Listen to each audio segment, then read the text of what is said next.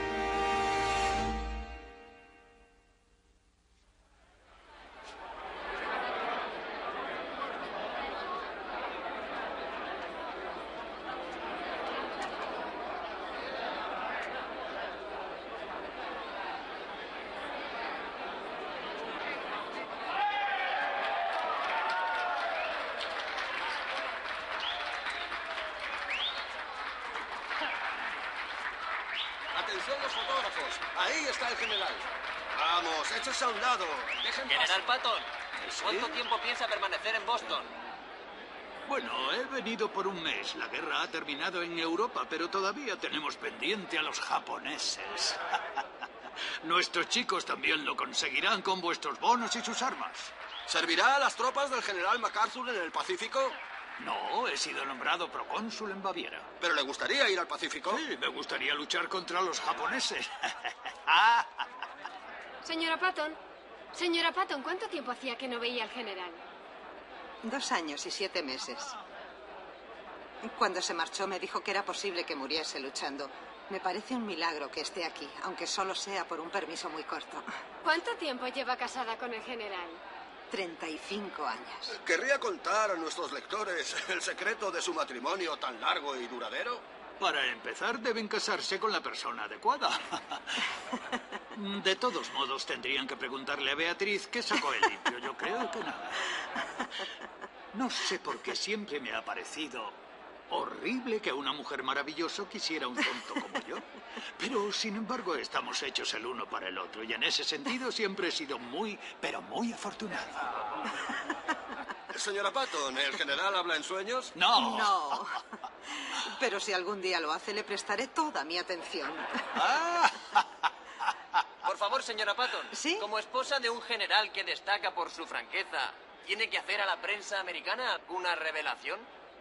A ver lo que dices, Bea. Bueno, yo respeto todo lo que la prensa tiene de imparcial y valiente. Solo les pediría que entendieran que mi esposo es muy perfeccionista. ¿Alguna otra declaración? Caballeros, yo soy un soldado, no un político, ni un diplomático, ni un estadista, y no necesito excusarme por las cosas que suelo decir. Y ahora, si me perdonan, mi familia y yo nos vamos a California, y antes quisiera visitar la iglesia de San Gabriel y darle gracias a Dios antes de volver a Alemania. Así es. Gracias. Gracias.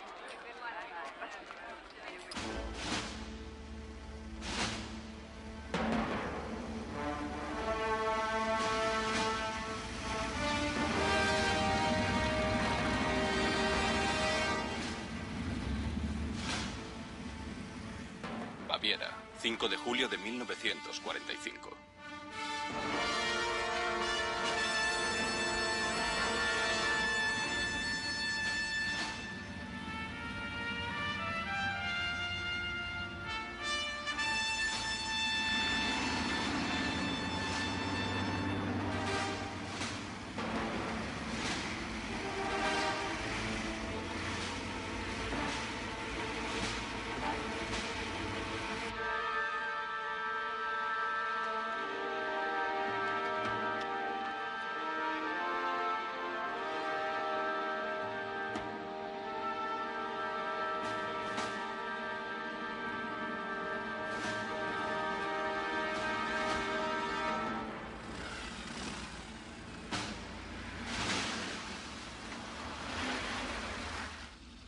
Al mando? ¿Quién es su comandante? Déjenle pasar.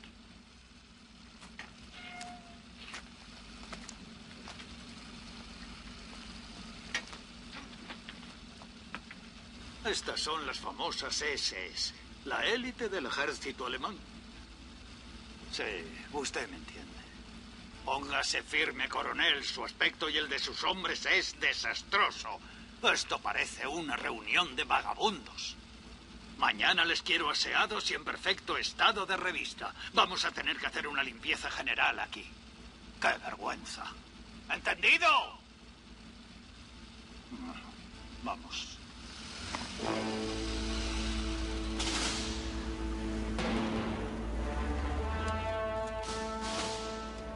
Utilizaré a los prisioneros.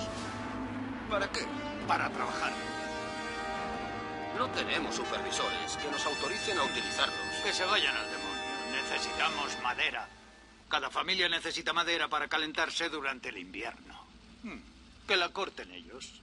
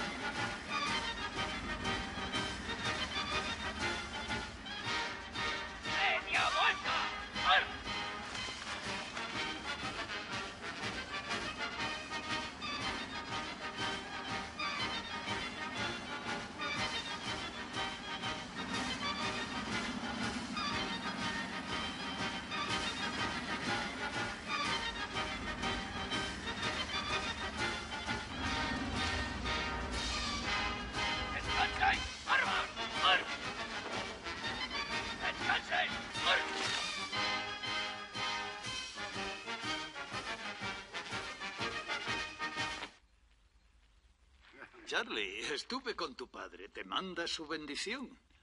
Me alegro de verte, Pete. Les diré unas palabras a los muchachos. ¡Atención! ¡Firmes!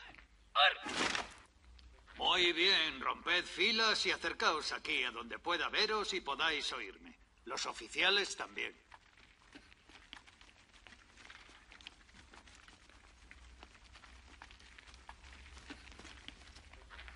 Nos espera aquí una gran tarea.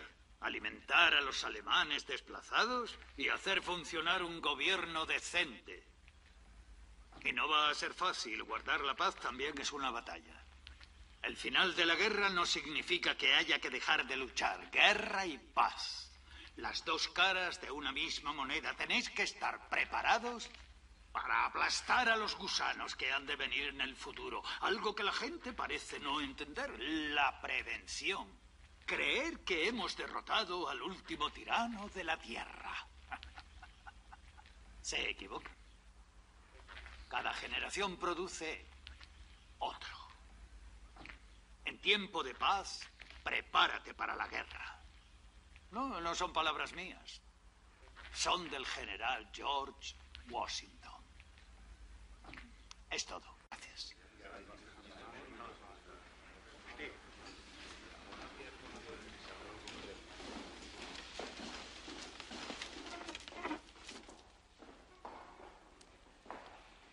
Caballeros, quiero presentarles al general Patton.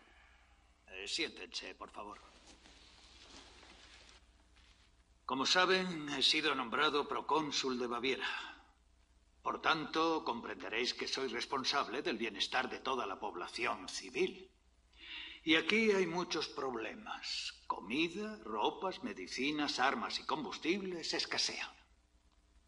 En mi opinión, estas cuestiones tienen prioridad sobre la purga de funcionarios que han sido acusados sin pruebas de adhesión al partido nazi.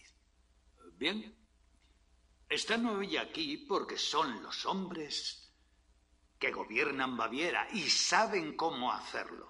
Todo lo que puedo decir es que sea cual sea su antigua afiliación, si lo hacen, conservarán sus puestos. Eh, ¿Quién de ustedes es el presidente Schaefer? Soy yo, general. Doctor Schaefer, algunos del gobierno americano piensan que se debería desmantelar la economía alemana.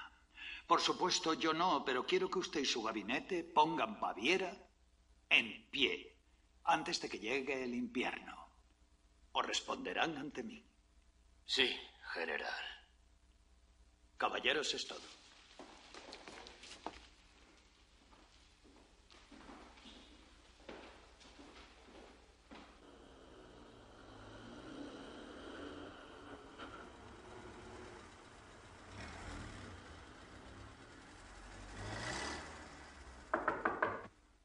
Pase. Perdone, general, pero esto acaba de llegar. ¿Qué es? Esto es de los hospitales civiles, esto de la reserva de combustible, suministro de agua, ferrocarriles, eh, este de energía eléctrica. Bien, bien. Transportes. Eh, luego. Son para que los firme, señor. Bien, gracias, teniente. Perdone, señor.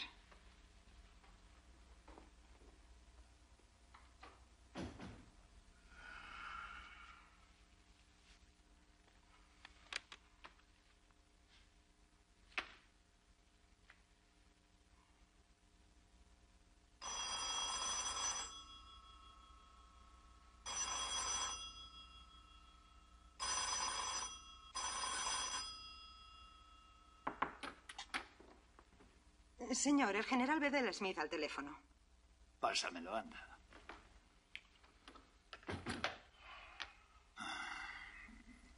¿Sí, Bedell? Cumplo las órdenes de Ike tan deprisa como puedo. No me importa el informe, profesor. Sí, lo he leído.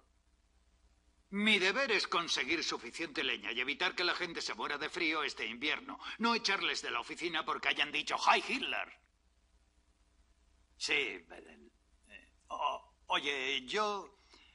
Me llevó 40 semanas conquistar esta parte de Alemania y me llevará otro tanto razonable sustituir a todos los funcionarios que fueron nazis. No se puede de un día para otro, ¿eh?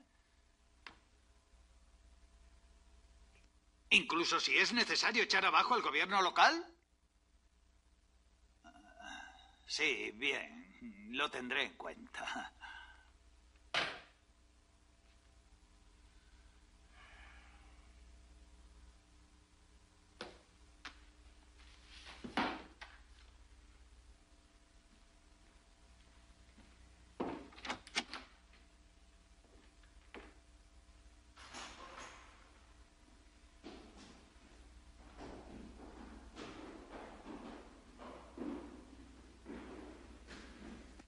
A todas las unidades. Eh, con respecto al sistema de ascensos, no hay ninguna razón. Eh, perdona, Hub. Eh, Georgie, ¿qué puedo hacer por ti? Nada, quiero deshacerme de estos asquerosos puros. Quiero dejar de fumar. Aprovechalos tú.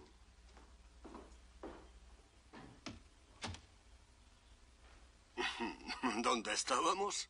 Con respecto al sistema de ascensos, no hay ninguna razón por no la hay que... ningún...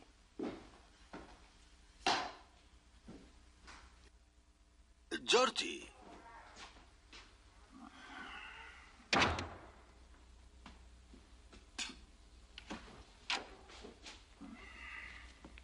Georgie, ¿te encuentras bien?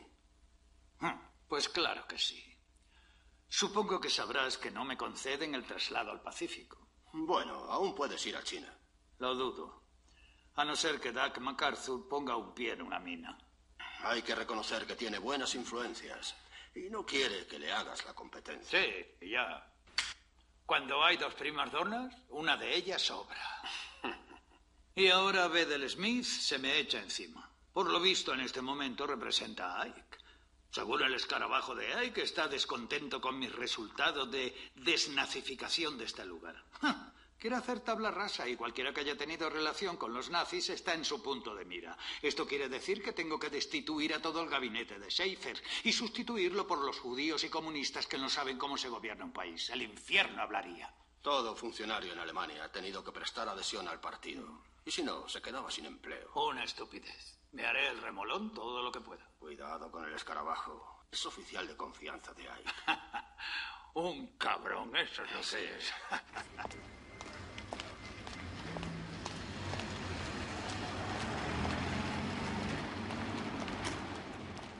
Cuartel Supremo de Frankfurt.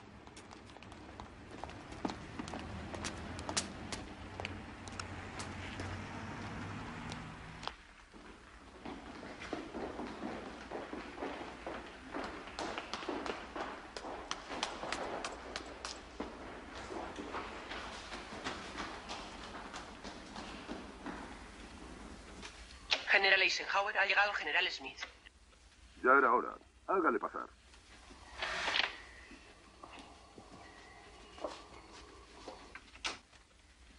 Gracias.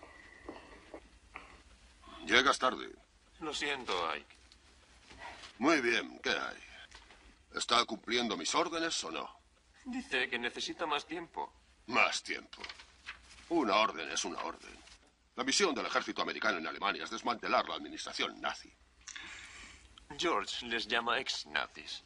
Bah, para mí siguen siendo nazis. ¿A cuántos ha situado George en puestos claves? Seifer es el principal y hay 20 tras él. ¿20? También tiene todo un séquito de nazis entre su servicio particular. Oye, Ike, me parece que después de tu mención para jefe de Estado Mayor en Washington, si esto se llega a saber, podría ser un obstáculo para tu nombramiento. Todo eso te perjudicaría. Debí haberle mandado a casa cuando bofeteó a aquel soldado en Sicilia.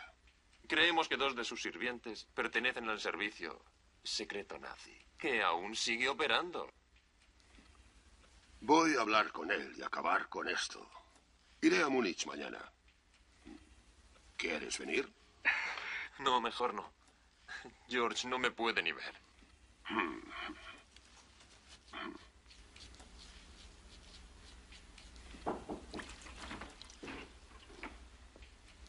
¿Piensa usted ir a montar, general?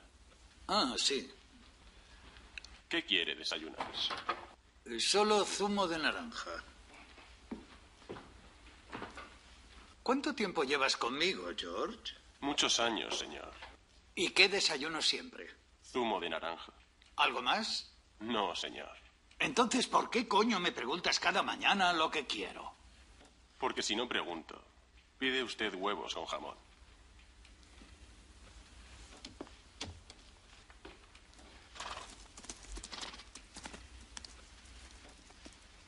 Son unos soberbios animales. Han venido de Francia. ¿Cómo se hizo con ellos? Bueno, pues digamos que los liberó el tercer ejército.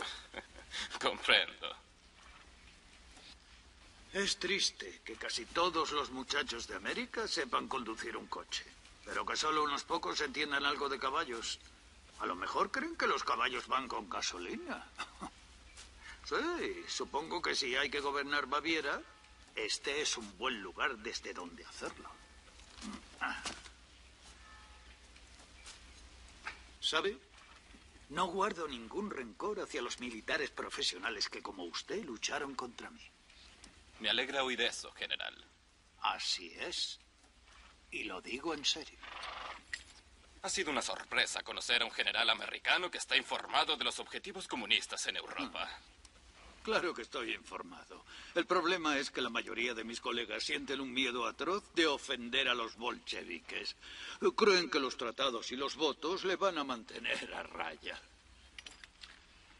Se requiere un gran impulso. Alemania va a necesitar un líder. Mm, Bueno, creo que yo he hecho todo lo que he podido. Nunca ha habido una oportunidad de provocar una guerra en Europa como ahora. Las tropas alemanas prisioneras y mis hombres echarían a los rusos hasta el mismo Moscú.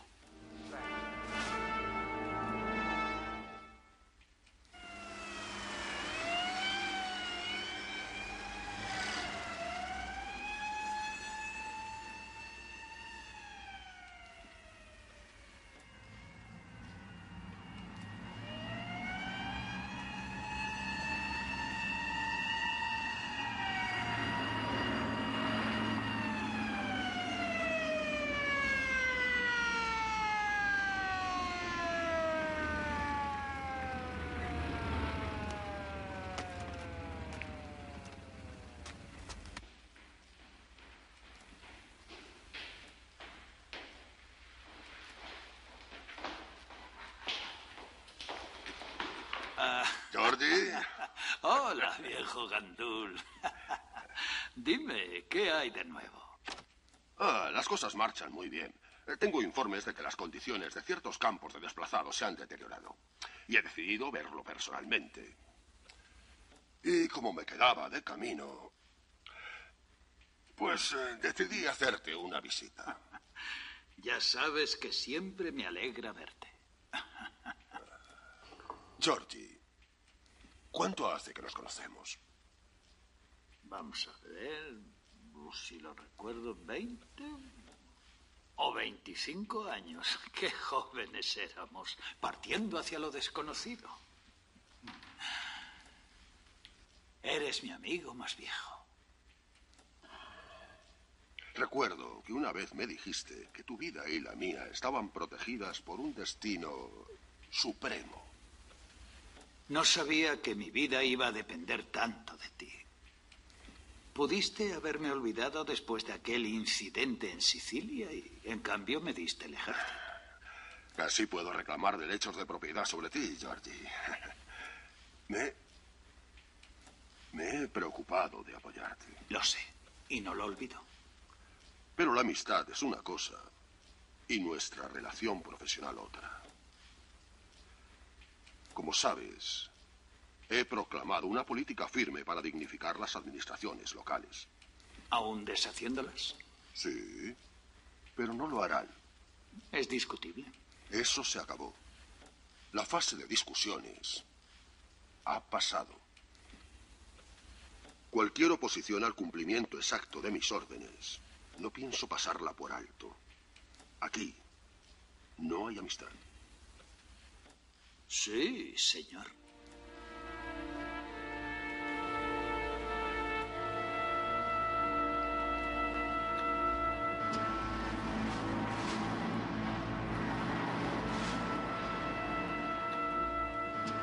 Lo haré. O no pienso hacerlo.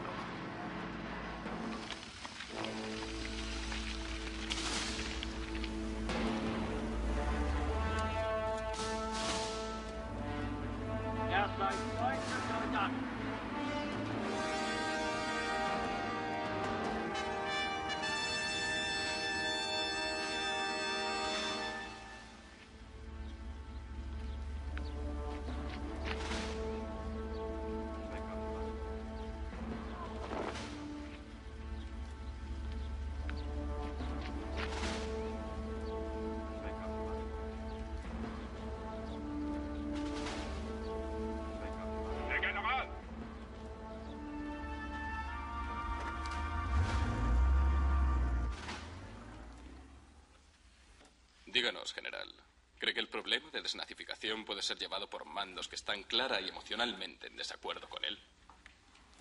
No, no creo que tengamos a nadie así. Ah, ¿y qué me dice de Patton? ¿No se opone? No.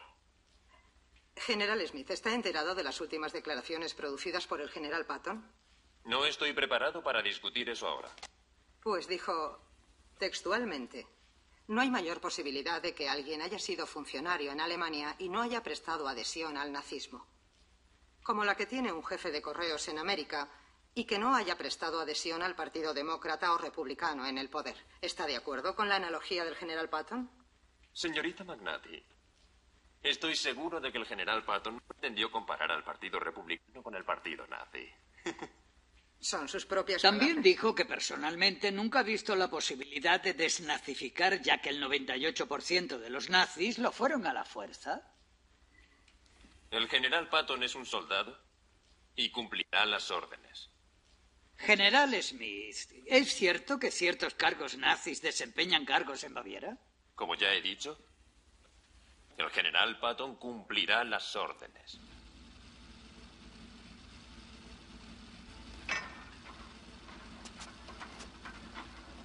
Con este canal funcionando, general, conseguiremos que el transporte entre Múnich y las ciudades del sur sea más fáciles. Los contenedores con comidas y combustibles suministrarán a cientos de miles de necesitados.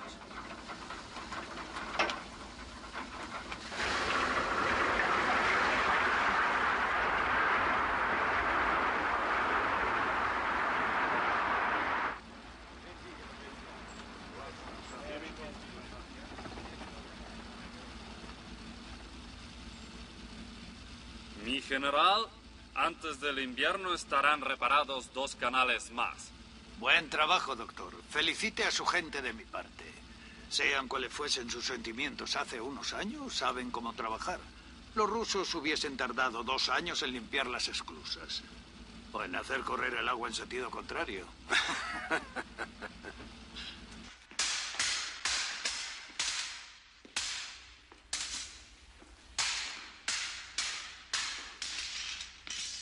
Fantástico, general. ¿Es un elogio viniendo de usted?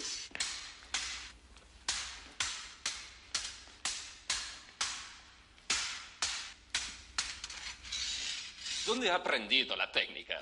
Varón, pertenezco a la caballería desde hace muchos años. ya me parecía a mí.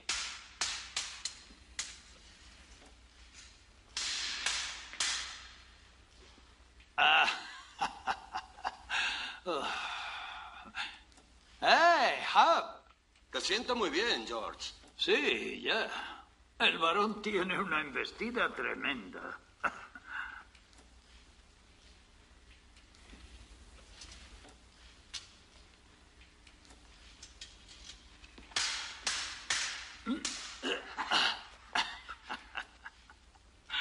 Ay, es una lástima que no fueses una de esas periodistas que vinieron Sí, pero sin el guateado. ¿Más problemas con la prensa? Sí, de los pingajos que quedan de lo que fuera gran prensa americana. No lo entiendo. Los tenía de mi parte. ¿Y ahora? ¿Y ahora? Ahora tratan de provocarme con infundios. Eso hicieron el sábado. Ah, Me hicieron perder la paciencia. ¿Qué es eso? Es de Ike.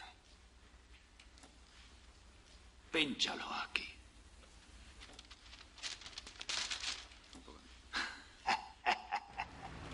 28 de septiembre de 1945.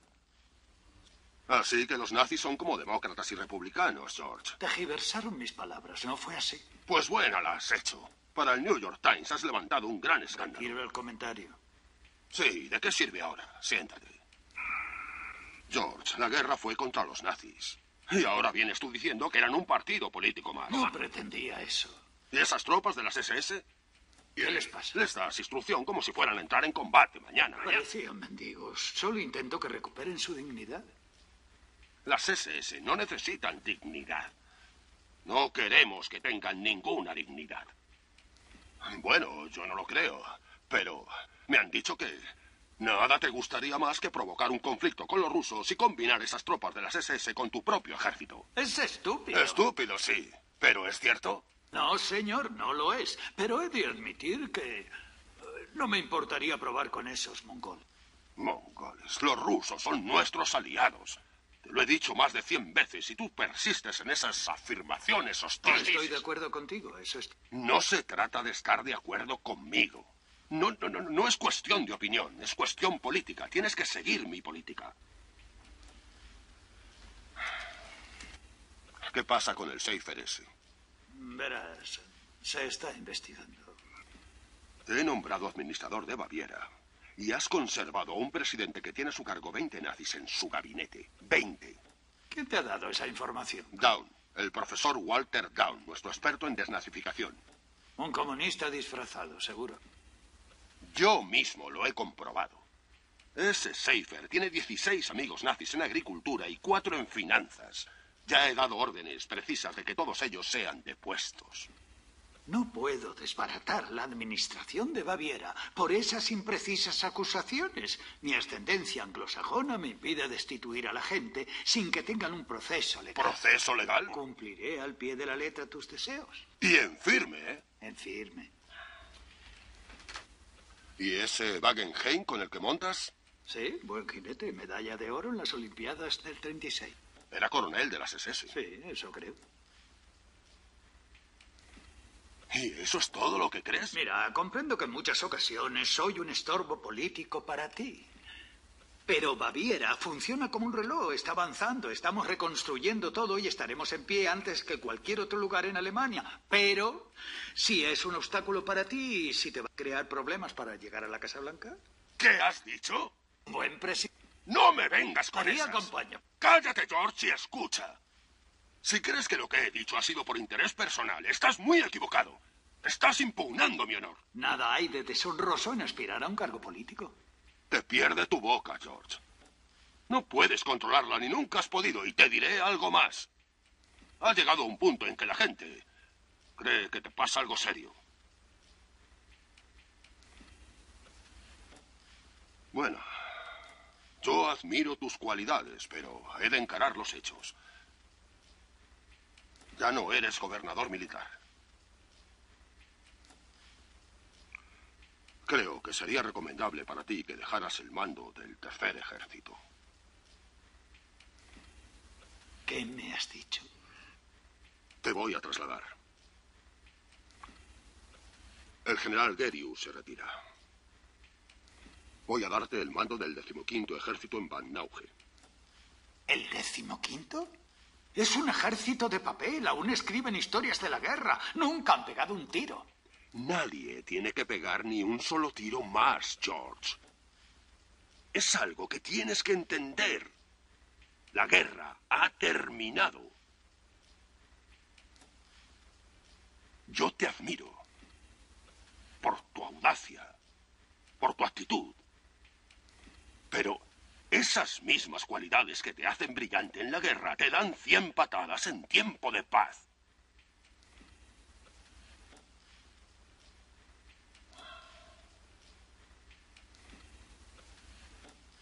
George, si has pensado quedarte esta noche, por mí no hay problema, pero creo que querrás llegar a casa cuanto antes. Sí. Ya me voy.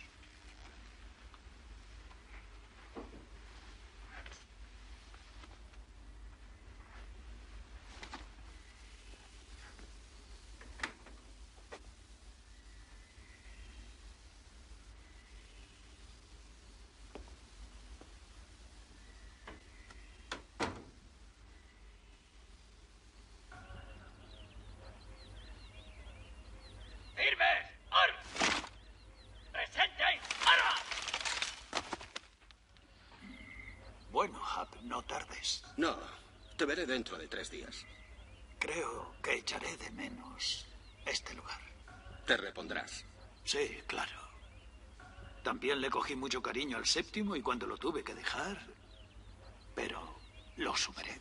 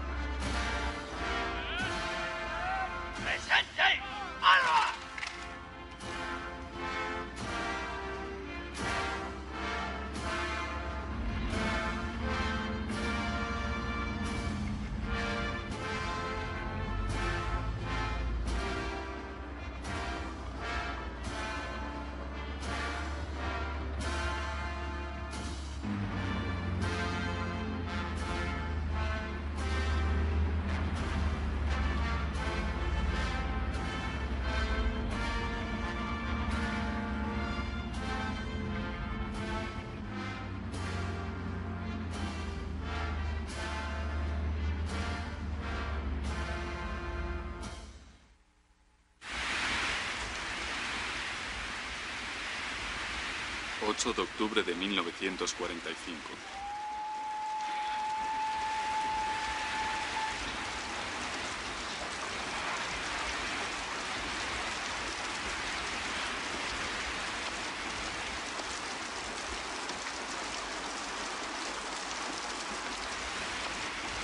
Me alegro de verle, señor. Hola. Bienvenido al quinceavo ejército. ¿Quiere acompañarme, señor?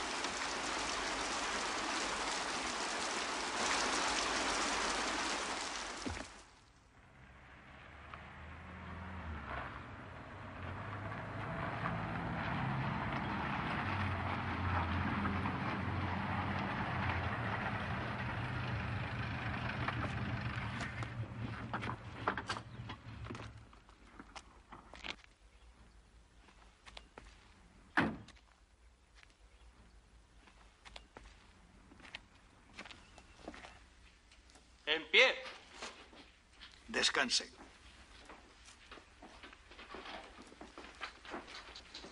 Bueno, general. Estos que ves son informes de operaciones del Estado Mayor. Estudios analíticos realizados sobre táctica. Y llegan más cada día.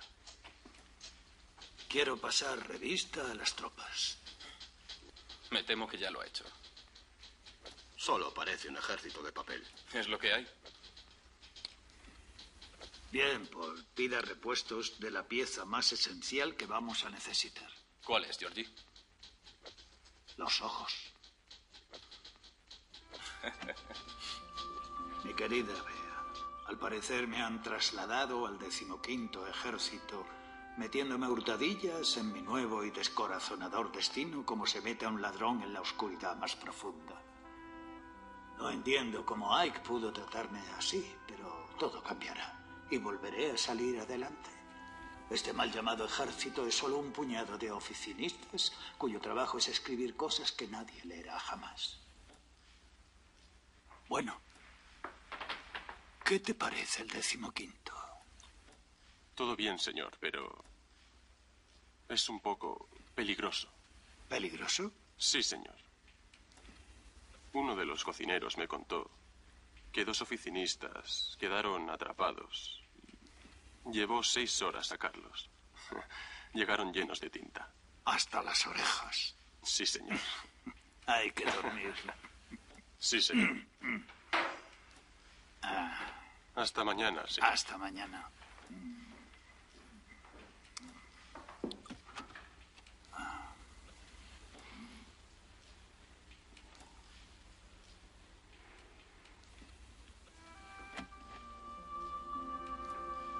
Espero pasar las navidades contigo. Oficialmente pediré un permiso de tres días, pero será definitivo.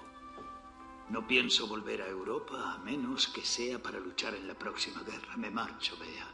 Quiero volver a mirar tus ojos hermosos y leales. Tengo la conciencia tranquila, Bea. Si un hombre ha hecho lo que ha podido, ¿qué más se le puede pedir? Eh, general. Eh, general Patton. Eh, buenas noches, general. Quieto aquí. Bienvenido al cuartel, general. El coronel Harkis me ha pedido que le lleve junto a él. ¿Le parece? ¿Quiere usted acompañarme? Ah, será un rápido y aburrido juego con el coronel de turno. Y vuelta al maldito papelero. Cuídeme usted a mi perro, muchacho, y sáquele a paseo. Sí, señor. Sé que hice lo correcto y los demás pueden irse al infierno. O eso espero, porque ahí dentro va a estar hasta los topes. En estos momentos estoy furioso. Mi actitud de cara al público es la de que alguien me ha hecho un favor por darme esta misión. Pero en mi opinión particular es que todos, excepto yo, todos, pero todos, son unos estúpidos bastardos. Cumpleaños feliz, cumpleaños feliz, cumpleaños General Patton, cumpleaños feliz. Joder, lo que me faltaba. Gracias.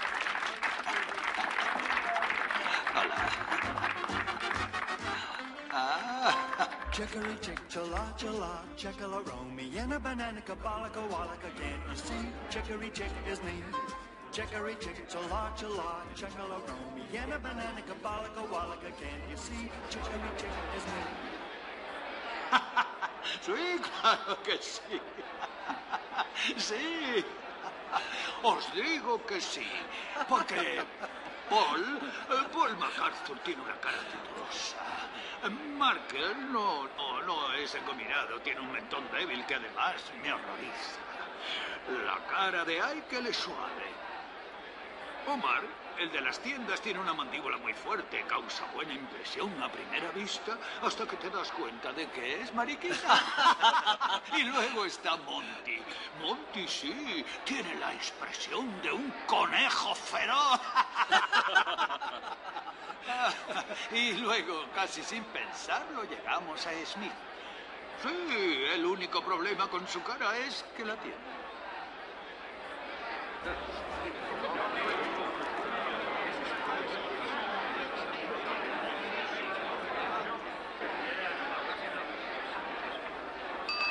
Caballeros, atención, por favor.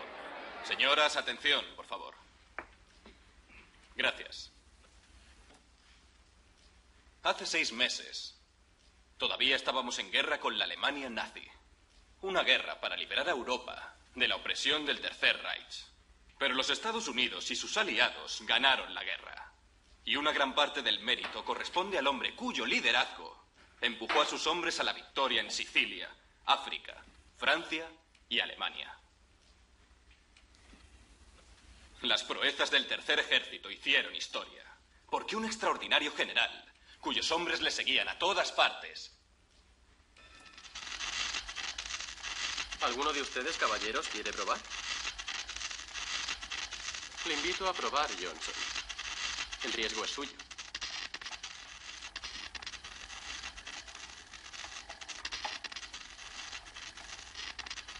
Patton, ¿quiere probar? Sí, señor.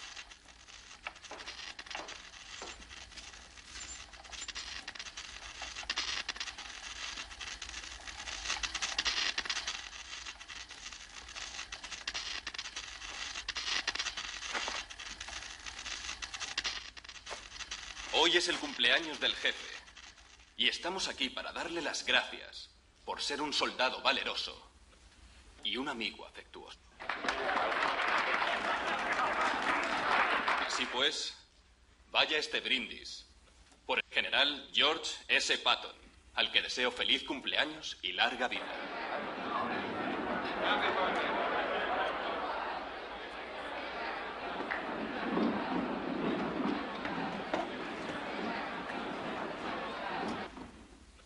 Es alentador saber que todavía soy una celebridad social y apreciada. Gracias, Paul, y a todos vosotros. Y eh, no tengo nada más que decir, a no ser que lo más difícil para un general es tomar decisiones y, por supuesto, aguantar los horribles rumores vertidos sobre él por gente menos valiente. Ya sabéis que últimamente he tenido problemas con la prensa y con algunos de mis colegas que deberían ser mis amigos. Eh, Supongo que es culpa mía. Pero esto me recuerda a una joven amiga que tuvo un niño recientemente y me dijo, es realmente maravilloso poder darme la vuelta y volver a tumbarme sobre el vientre. Y yo le dije, querida, si hubieses mantenido esa postura desde un principio, ahora no te encontrarías en ese estado tan poco envidiable y abultado en el que te encuentras ahora.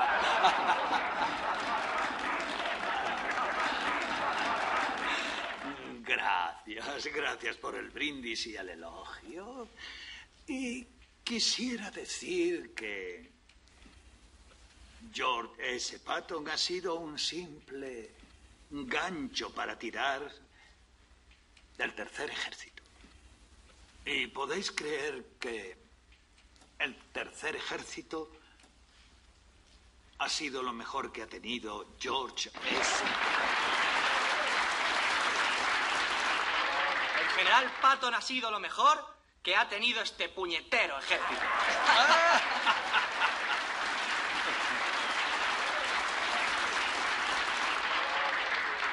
Hoy cumplo 60 años. Eh, cuando terminó la guerra, escribí un poema para mi esposa Beatriz. No me acuerdo muy bien, pero quisiera recitar un par de líneas de mi poeta favorito, Guidar Kipling. Eh, hay dos cosas más grandes que todo lo demás. La primera, el amor, y la segunda, la guerra. Y como no sabemos en qué va a acabar la guerra,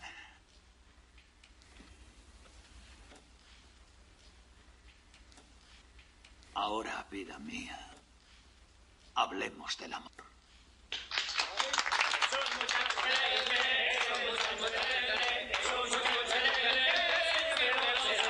Y siempre lo será, y siempre lo será.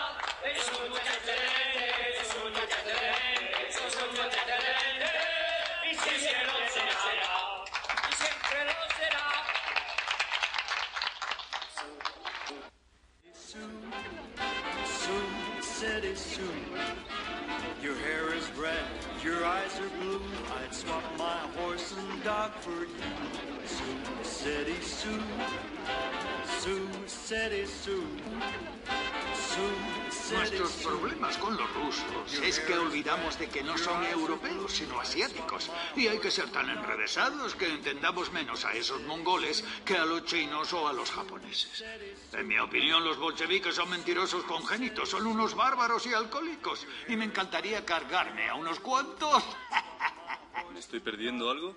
Ah, amigo mío. ¿Recuerdas a la sobrina de mi mujer, Jean Gordon? Encantado. Él fue quien se hizo cargo de mi antigua unidad en el séptimo ejército. Me alegro de conocerle. Te habrás tomado muchas molestias para estar en esta fiesta. Es un placer, Georgie. Y ojalá Beatriz estuviese aquí. Ah, seguro que ahora estará organizando mi permiso. Y seguro que no te dejará ningún minuto libre. ¿Bailamos? Sí. No me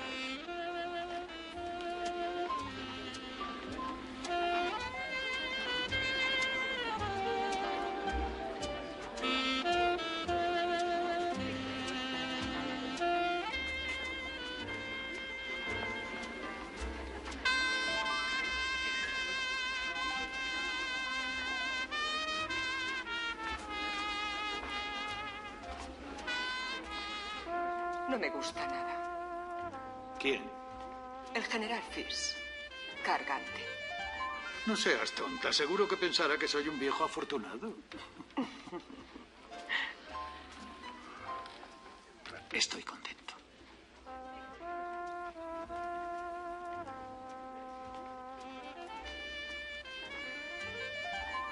¿Se ha terminado? ¿El qué?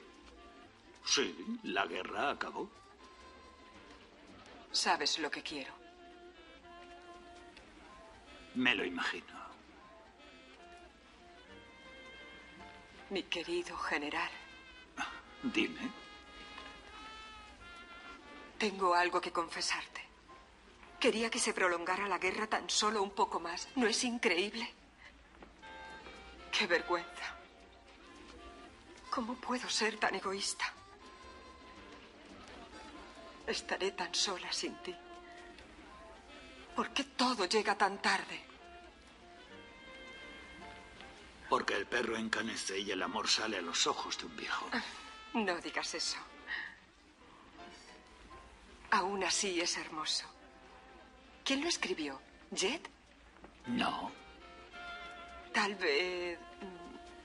mm, ¿Brownie? no. ¿Quién lo escribió? He sido yo. Señor general, es usted un buen poeta. Je t'aime de tout mon cœur.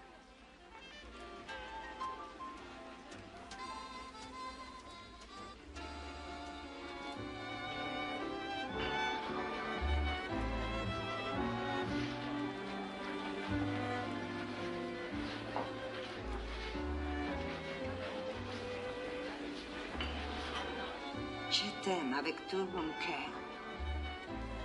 Je t'aime aussi. Por tuyo. Ha mejorado su francés, teniente Patton. No creo. Tengo el 107 en una clase de 123. Eres el 16 por la cola. Desde luego no me casé contigo por tu talento en las lenguas. Entonces, ¿por qué? Uh, ¿Quiere escuchar piropos, mi querido teniente? Oiga, señora Patton. Es muy bonita para un joven retirado como yo. Anoche no pude dormir. ¿Sabes por qué? No, ¿Qué? yo tampoco. ¿Por qué? Estuve pensando en cómo sería estar casados. Estar los dos por fin a solas.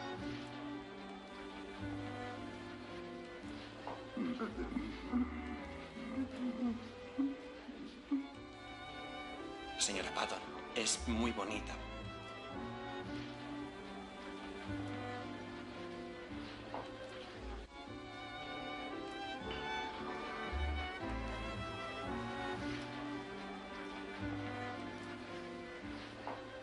¿Dónde estabas? ¿Mm? Estabas muy lejos.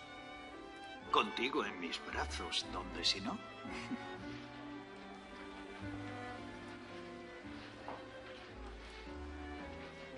Abrázame.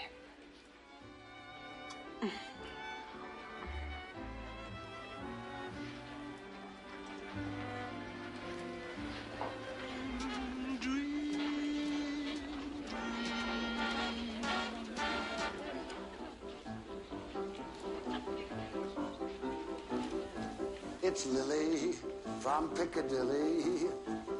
She is the blackout queen. From Piccadilly. Ugliest girl I've seen. With searchlights moving overhead till Messerschmitts are gone. Don't take her gas mask off. She looks much better with it on. Yeah.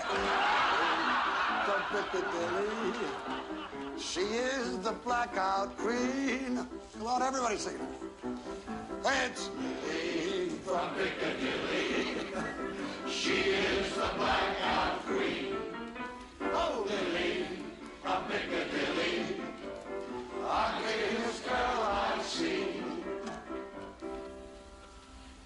Wig should never bother you. She's several missing parts. One glass eye wooden leg. She's still the queen of tarts. Ah, from Piccadilly. She is the blackout queen. Good, good, very good. It's Lily from Piccadilly. She is the blackout queen. Lily from Piccadilly. Ugliest girl I've seen. Who cares if she has pigeon toes? A voice that's rather harsh. She's one good trait, an RAF type handlebar mustache. From Piccadilly, queen of the blackout, laser rubber back out. She won't let you back out.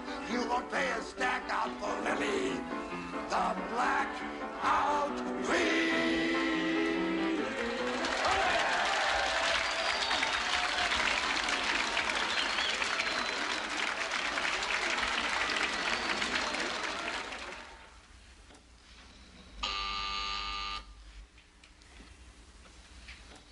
9 de diciembre de 1945.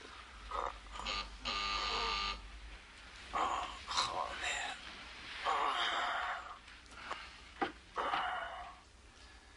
Diga.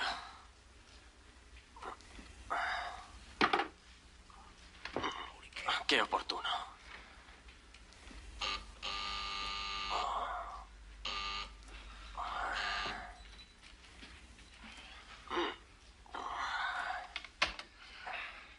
Aquí el soldado Burnick, hable.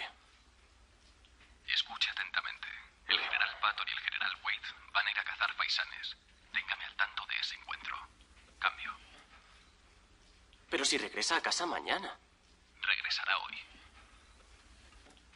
¿A qué hora? Dentro de 20 minutos. El general va a ir en mi coche.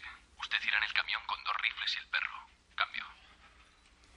¿Pero qué hora es? Hora de menear el culo. Cambio y corto.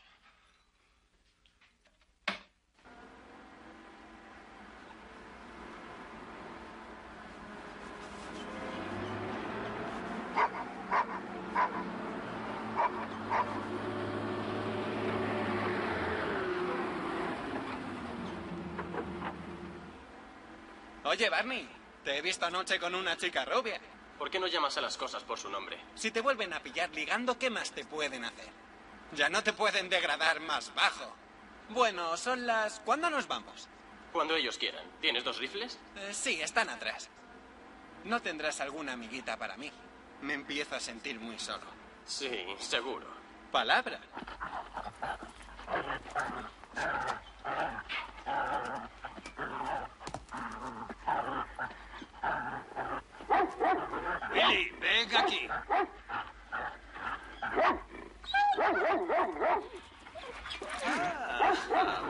Billy, adentro.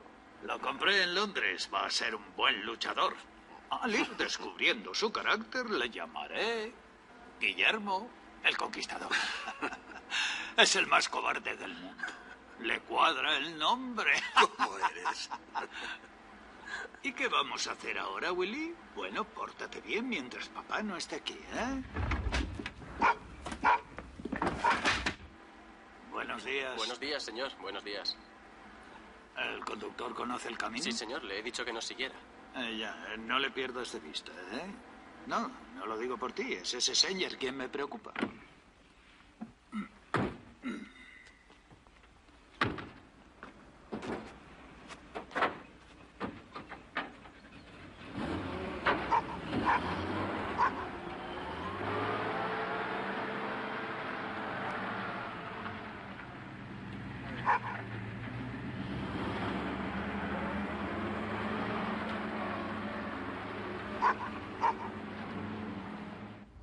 El mes pasado visité al rey Jorge en Bélgica. Bad hizo el camino de vuelta tan solo en dos horas, a 70 millas por hora, sin detenerme en ningún control. ¿Cómo corría? No me extraña. Conozco al sargento. Ah, sí. Le apasionan las mujeres de aquí. Barney está constantemente enamorado. La vida es injusta, con tantas Freundlands y no se permite la confraternización. Es una idea estúpida. El sexo no se puede controlar. Basura moralista. Los dos sabemos que cuando las costumbres se relajan viene la moral. Ese es el problema. Sí, pero por lo que parece a Buddy no le importa luchar con él.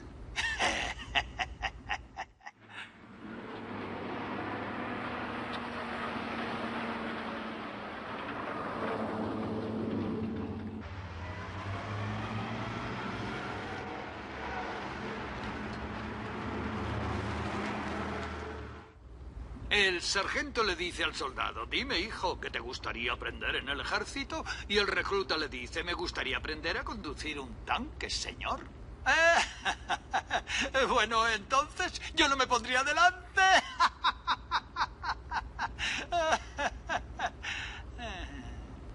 Vaya, creía que si el jefe del Estado Mayor no reía mis chistes y lo haría mi Lo siento, señor. Era muy divertido.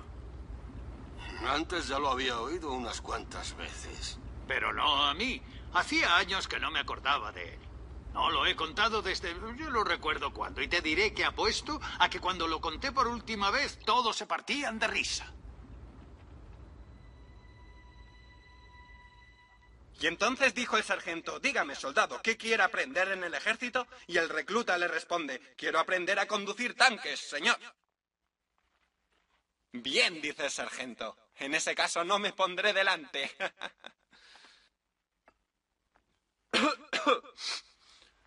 Este modelo es un diseño revolucionario. Sí, revolucionario. Menuda chatarra de artilugio. Caballeros, les pido que usen su imaginación. Como pueden apreciar, este modelo experimental tiene muy poco blindaje. Y ninguna superestructura, aunque para nuestros fines les demostrará lo que el Departamento de Guerra necesita ver, que su empleo es altamente recomendable para la artillería.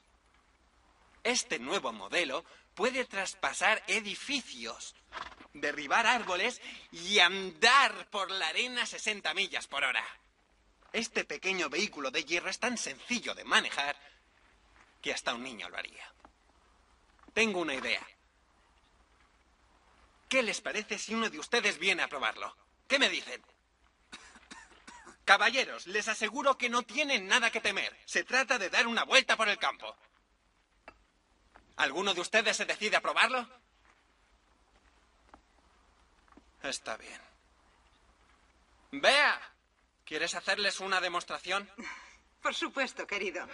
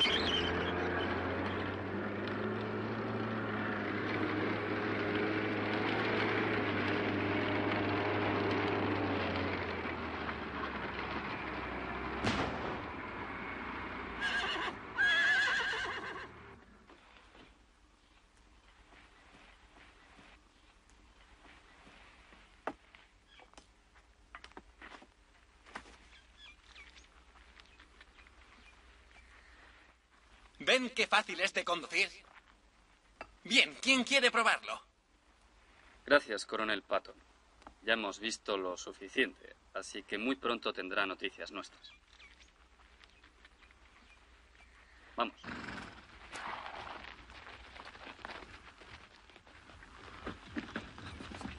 Gracias. Qué antipáticos eran esos carcamales. No son importantes. Pero era tu presentación. Han intentado... Gracias. Señora Patton. Gracias.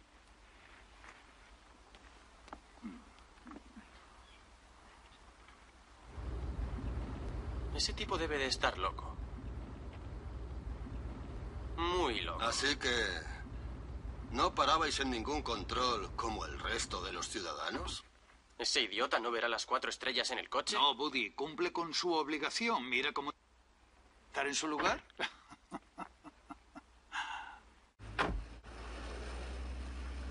Mira, mira, mira, mira. Por su manera de actuar, nadie diría que es un simple soldado.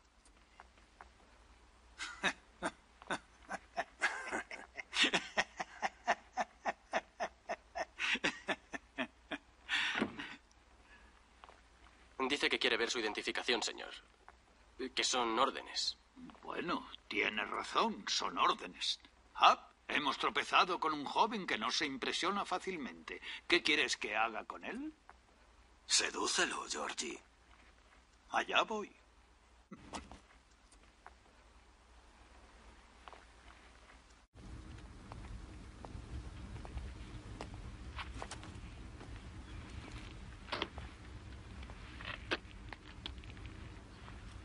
Buenos días, muchacho. A la orden, señor. Soy el general George S. Patton al mando del quinceavo ejército en Bad Nauheim. Parece que quiere ver usted mi identificación. Sí, señor. Si no tiene inconveniente. Muy bien. Aquí está. Gracias, señor. Puede pasar. ¿Cómo te llamas? Cabo Philip Leeds, señor. Philip. Me gustan los nombres fuertes. Amante de los caballos. ¿Te gustan los caballos? Sí, señor. Me alegro. Bien, sí. Philip. Procuraré que tu comandante esté al corriente de lo buen soldado que eres. ¿De veras? Gracias, señor. Spruce, Sí, señor. trae al perro aquí y ponlo en el asiento delantero. Pobre se va a congelar en ese maldito camión.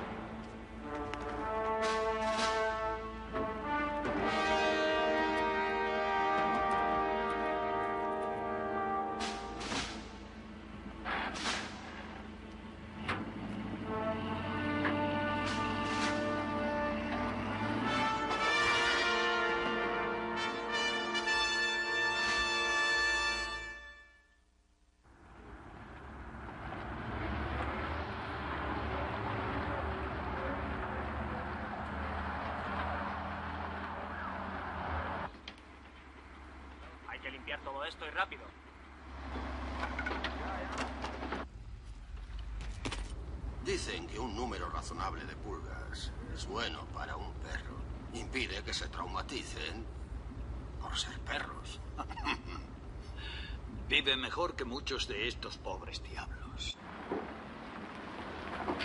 No lo entiendo, caramba. Lo único que realmente pretendía es ayudar a construir una nueva Alemania. Lo sé, pero reconócelo. Eras la mano derecha de Ai. En cuanto dejaste de cumplir sus órdenes, te dejó fuera de juego. Es así de simple. Y él es el que manda. Todo se reduce a una maldita cosa. Ike tiene el gusanillo de la presidencia y no quiere que yo se la eche a perder. Pero nunca llegará a presidente, te lo digo yo. El problema está en que soy un incordio en tiempo de paz y no soy un lameculos. Y ahora que ha muerto Roosevelt, la camarilla de Washington no me puede ver. Luego tiran una bomba para acabar con la guerra del Pacífico. Tal vez yo esté anticuado, no lo sé. Ay, me siento abocado a un fin que no logro ver. Y sé que en cuanto llegue tan pronto, consideren que no soy necesario, solo eso bastará para destrozarme. Jordi, eso no es propio de ti. No, es de Napoleón. Ah, siendo así. Bueno, mañana me retiro a casa con mis apuntes. Escribe un libro. Siempre has querido hacerlo. Con tus vivencias será el mejor que se haya escrito sobre la Segunda Guerra Mundial. Sí, tal vez. Pero para tirar de la manta a gente como el escarabajo no me interesa. Hmm, eso te encantaría. Por supuesto. Naturalmente seguiré llevándome bien con Eisenhower para que todos me sigan besando el trasero. No soy yo quien ha perdido a los atenienses, sino los atenienses a mí.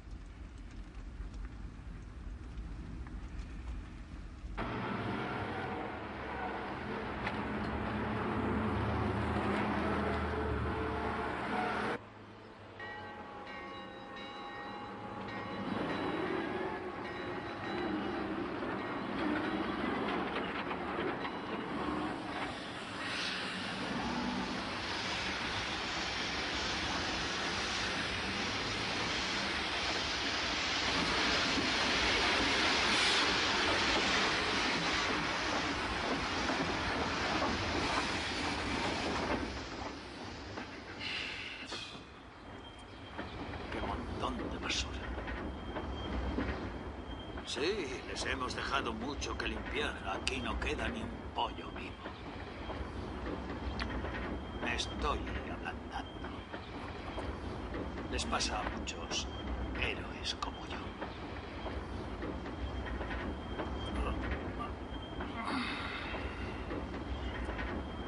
Los trenes me ponen triste.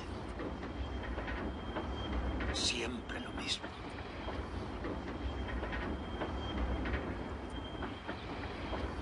Siempre de un lado para otro. ¿Has leído El tiempo y el río? No. Un millón de caminos se abre sobre las tinieblas.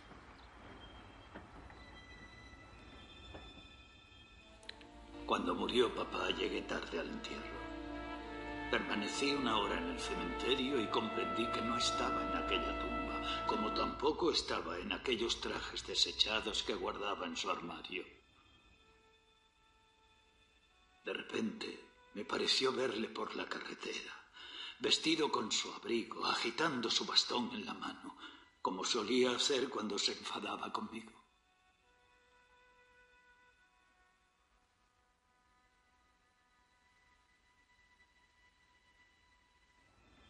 Te saludo a ti, papá, sino a esta última morada donde descansa tu cuerpo. Tu alma está conmigo. Y si no se me nublasen los ojos,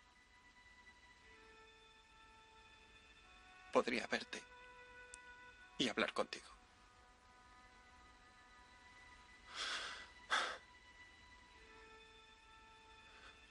Querido papá, dejé de llamarte así cuando crecí. Querido papá.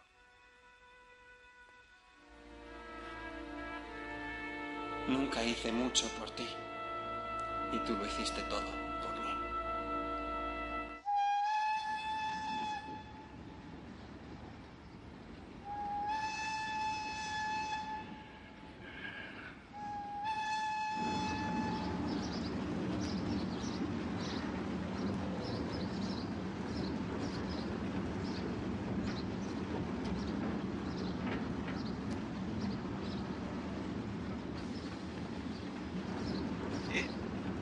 Ayer bebí tanta cerveza que me siento hinchado como un barril. No es el único de Esther. Melvin, ¿tienes hipo? No. ¿Sabéis lo que es el hipo? ¿Qué? Mensajes de los espíritus de los muertos.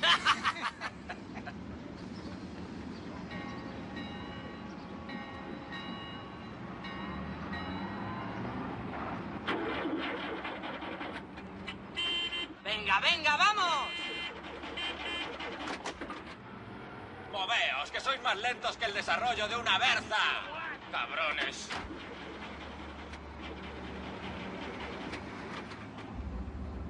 Mira eso. Solo quedan cuatro estrellas en Europa. Patton debe ser el viejo. Es el viejo. Para y da la vuelta.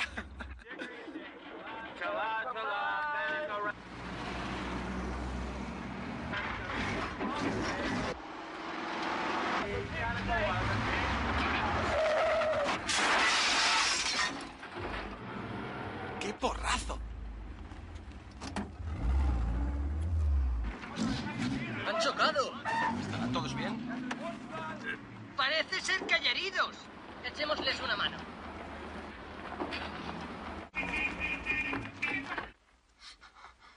Dios mío, señor.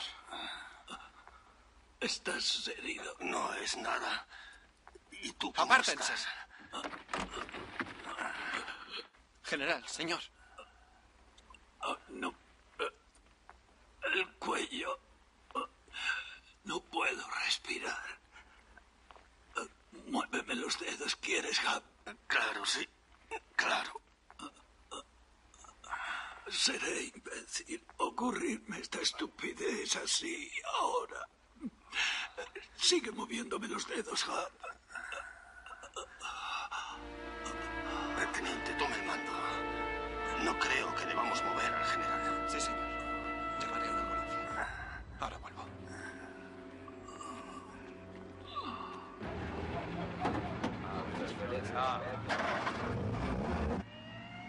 Mira, ahí llega.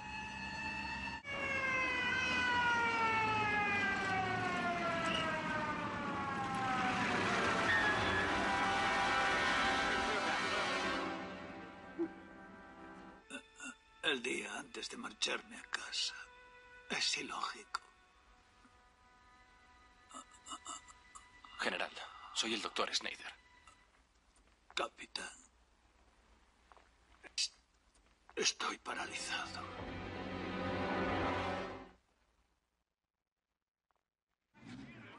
Cuidado, despacio.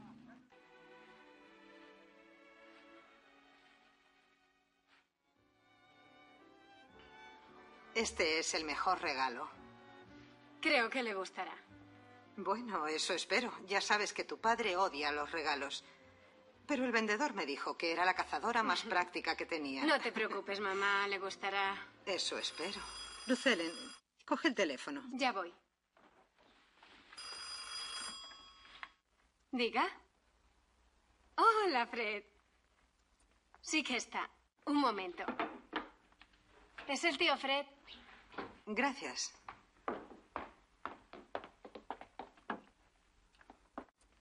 Fred, ¿cómo estás?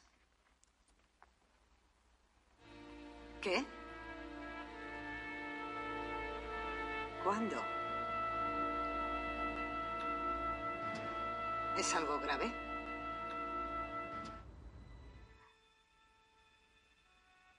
Sí, claro. Yo... Llámame en cuanto lo sepas. Estaré aquí.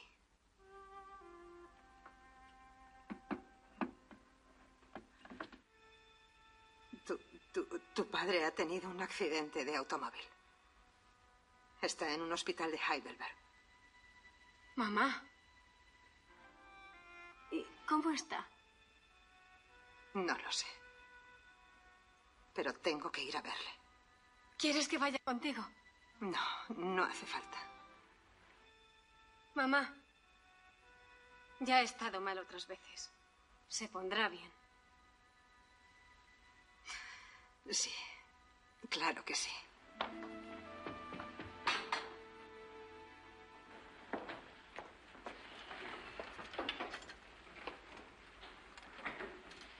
¿Puede decirme eh, cuándo orinó por última vez?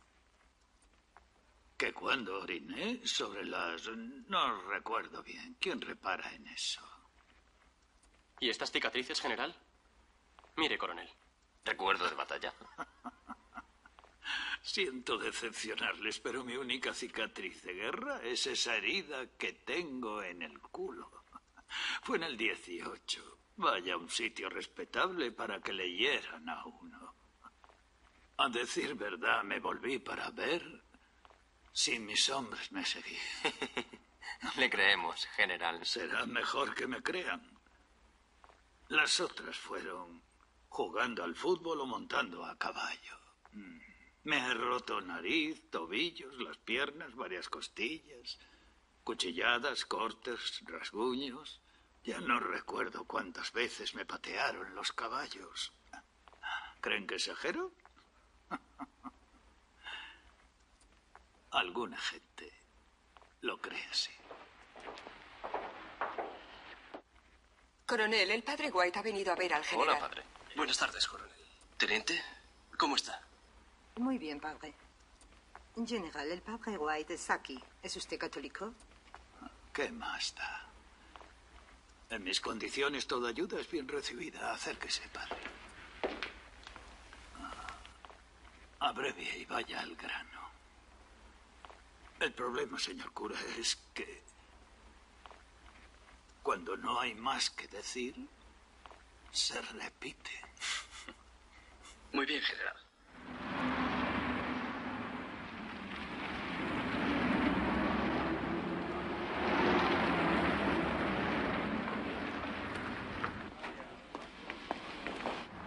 Case. Soy el mayor Morgan, Relaciones Públicas de este hospital. Mayor, ¿cómo se encuentra el general Patton? Me temo que mal, su estado es grave, está en emergencias. ¿Puedo verle? Si quiere esperar, veré lo que puedo hacer. Muy bien, mayor. Ex andivit dominus, deprecationem meam. Dominus orationem meam. Suscepti. Amén. Gracias, padre.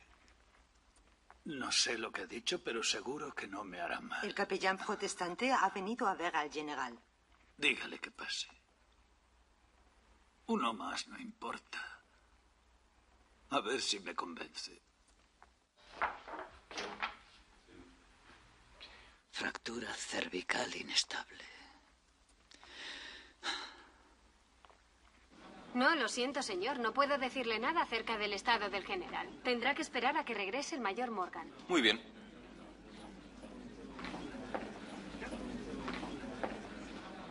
Caballeros, por favor.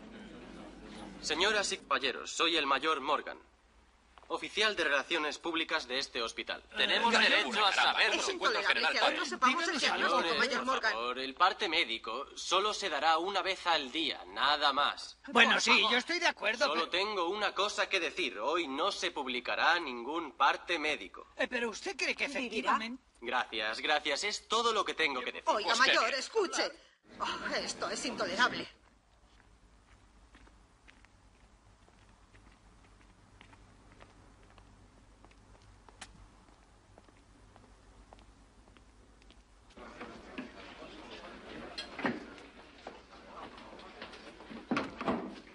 Por ahí. ah, Vamos, pediré café. ¿Quieres comer algo? Eh, no. ¿Solo? Eh, sí. Dos cafés solos.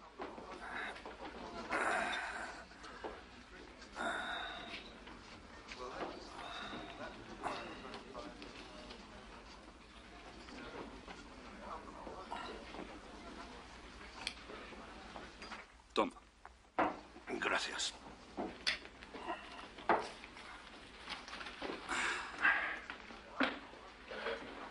Parece que los abuesos de la prensa ya se han marchado.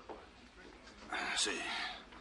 Volverán a tropel No te preocupes. Mañana voy a autorizar al coronel Paul a que prohíba la entrada en este hospital a la prensa. Son unos pesados. Muy pesados. Duermes mal y se te nota.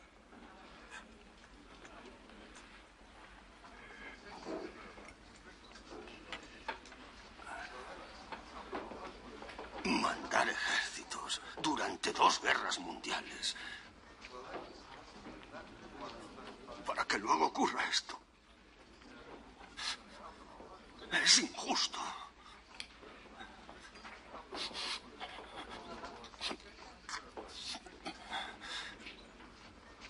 Caer del asiento del coche y romperse el cuello. George tendrá todo lo que necesita. Están al llegar un cirujano de América y otro de Oxford. Tiene que vivir. Tiene que escribir un libro. Esta mañana estuvimos hablando de que iba a escribir un libro. Sus memorias podrían ser el libro más importante del momento. Exacto. ¿Cuál es su estado? Su verdadero estado. No quisieron decirme nada.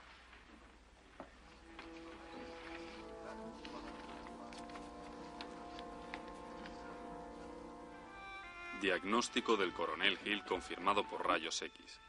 Fractura de la columna vertebral entre las vértebras tercera y cuarta en la parte posterior del cuello. El paciente respira con un lado del diafragma. Vejiga e intestinos paralizados.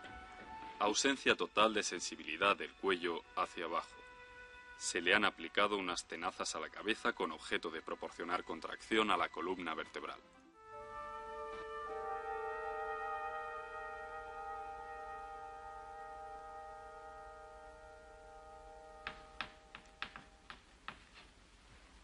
Llamo Kerwin, teniente coronel Walter Kerwin. Soy el ayudante provisional de la señora Patton.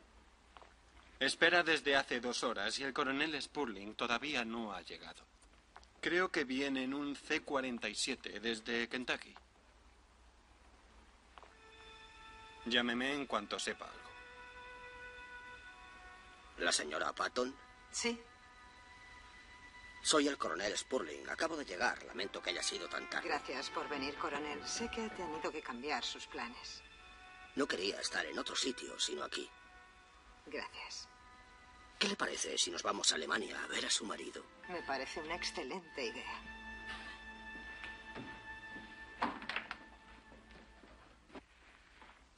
Señorita Gordon, no debería autorizarla. Va contra las normas del hospital, pero ya que es usted de la familia, Gracias, coronel. su tío está ahí. La última vez que le vi estaba dormido. El coronel Hill prefiere que no le molesten. Sí, claro. Solo quiero estar un momento con él. Le prometo no despertarle. Tal vez pueda volver mañana. ¿Por qué no me llama? Le daré más tiempo. No, no volveré. Y por favor, no le diga que he venido.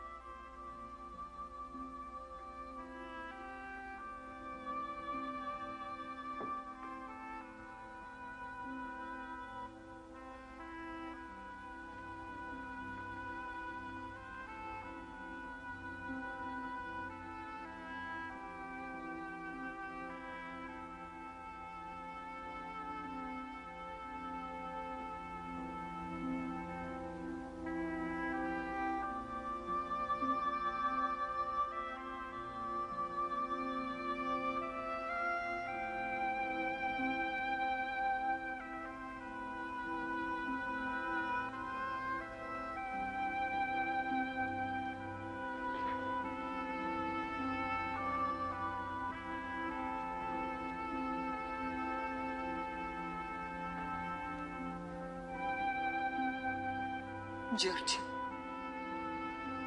para mí no se acabó. Para mí nunca se acabará.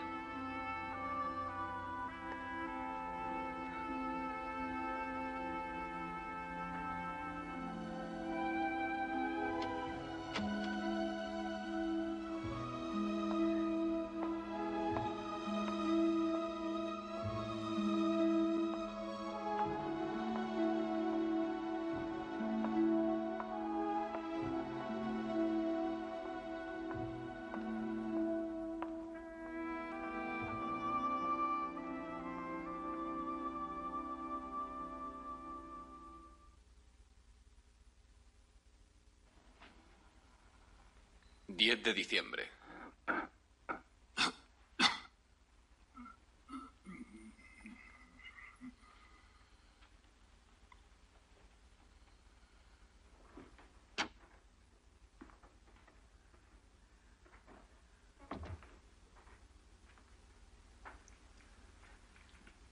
Buenos días, general.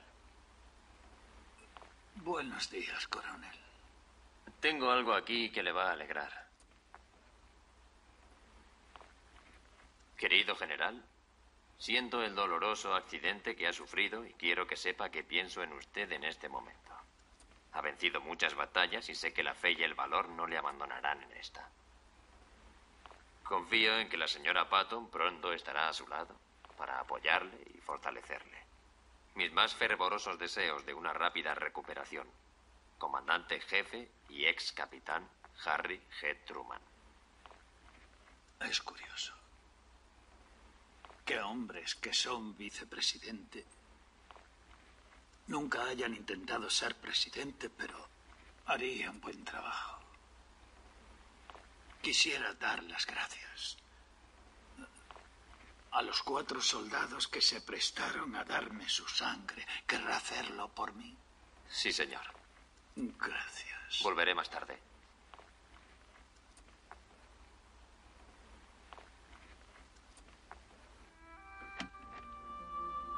Esa fragancia.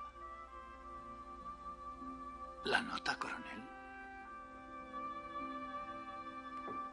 Es como un perfume.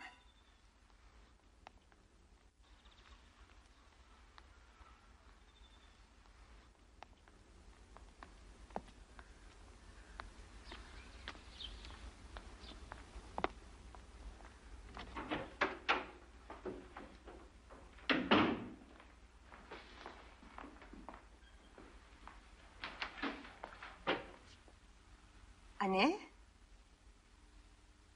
Me ha parecido verde. ¿Llegas pronto? No podía dormir. Es un paciente importante y no quiero llegar tarde. Vete si quieres.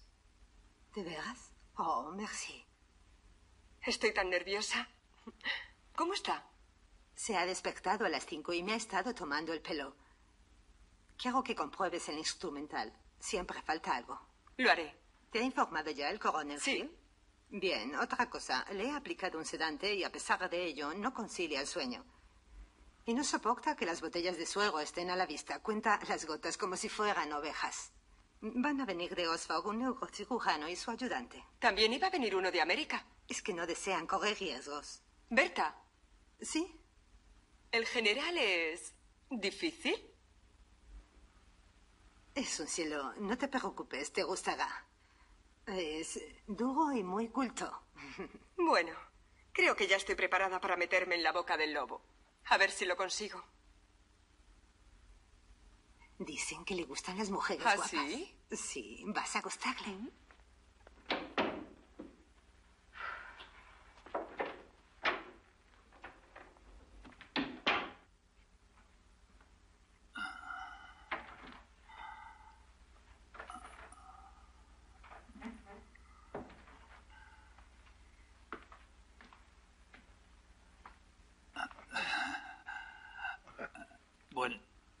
buenos días, joven. Buenos días, general. Hoy me siento mucho mejor. Puedo mover el índice de la mano derecha. Mire. Magnífico, déjeme ver.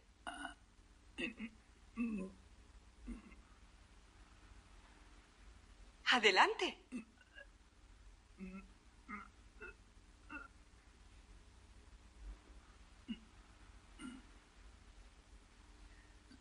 Sí, creo notar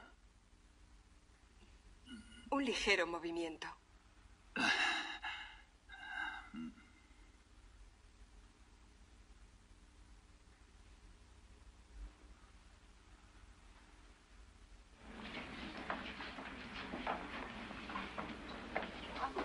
Lo siento, señor, pero no lo sé.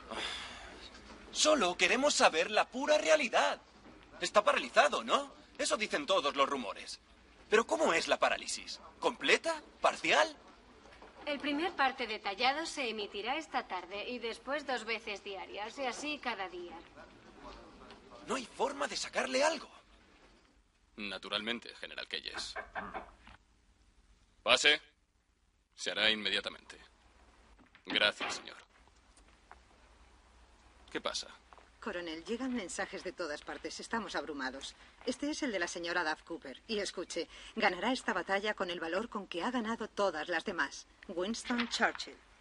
Eso debería elevar la moral del general. De todos modos, olvídelo por el momento. Apunte esto y envíelo enseguida al Estado Mayor. No será fácil para los de comunicación, pero podrá facilitar un poco el trabajo de los demás. Por orden del general en jefe del séptimo ejército, se prohíbe a la prensa y a la radio la entrada en este hospital. Gracias, coronel. Y no se les permitirá entrar, salvo para asistir a conferencias de prensa y nada más. Este no es modo de tratar a la prensa americana. Lo siento, señora. Pues no lo parece, caray. Estoy convencido de que ese presumido se divertía echándonos. Para mí es un auténtico maleducado. Pero esto no va a quedar así. Está en juego la libertad de prensa. Solo le pregunté si tenía miembros paralizados y se marchó dejándome con la palabra en la boca. Eso es de grosero. Si no fuera una dama... Cualquiera lo diría. Siempre me ha gustado Kathleen Turner. Es muy buena actriz. La he visto dos veces en la calle de la Casa Wimpole. La última vez que estuve en Londres, la vi en el teatro en Ya no habrá más noches. Ah, sí, sí, ya la he visto. ¿Le gustó? Sí, mucho. A mí no. Cierre los ojos, por favor. ¿Siente algo? Eh, Sí, sí, creo que estoy sintiendo ¿Dónde? algo. A la derecha del pecho. Bien. Sensibilidad en la pared torácica derecha.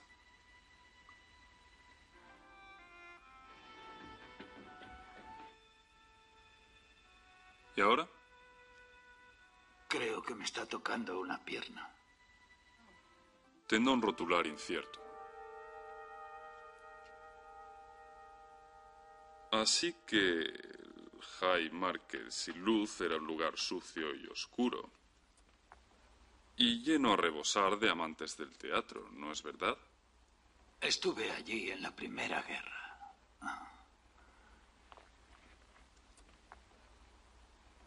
Mire al techo. Sigue estando igual el High Market. En algún aspecto no ha cambiado nada.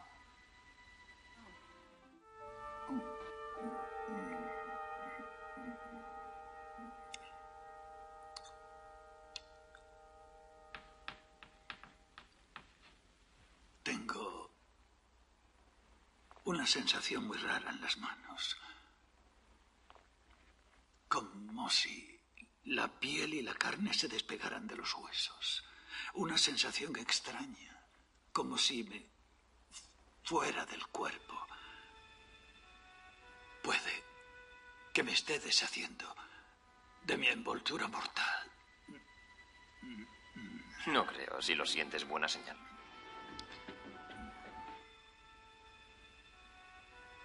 La muerte siempre me ha intrigado.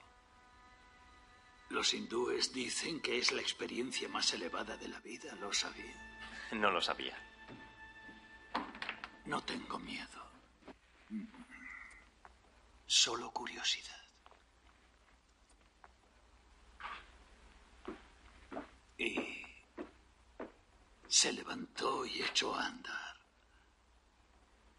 lejos de los campos de batalla, fortalezas, páramos, montañas, campos y aldeas.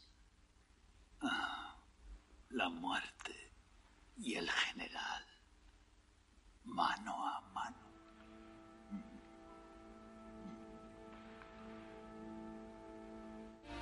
Pues sí, Georgie. Diría que el hombre más grande fue tu abuelo. ¿Quieres saber por qué? Sí, señor. Porque murió por su país mandando tropas en la batalla. Murió al frente de valientes, llevando una espada. ¿Entiendes eso? Sí, señor.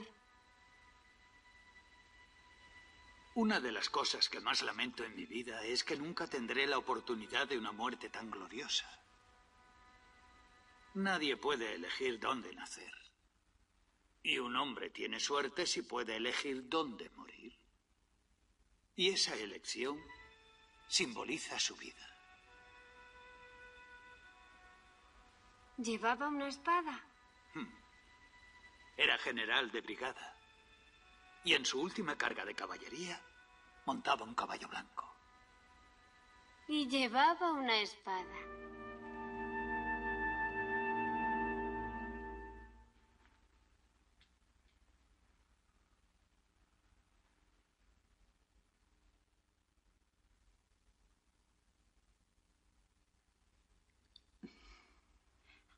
Hola, Georgie.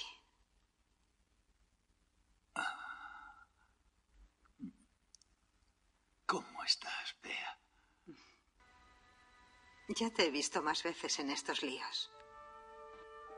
Y siempre has salido airoso.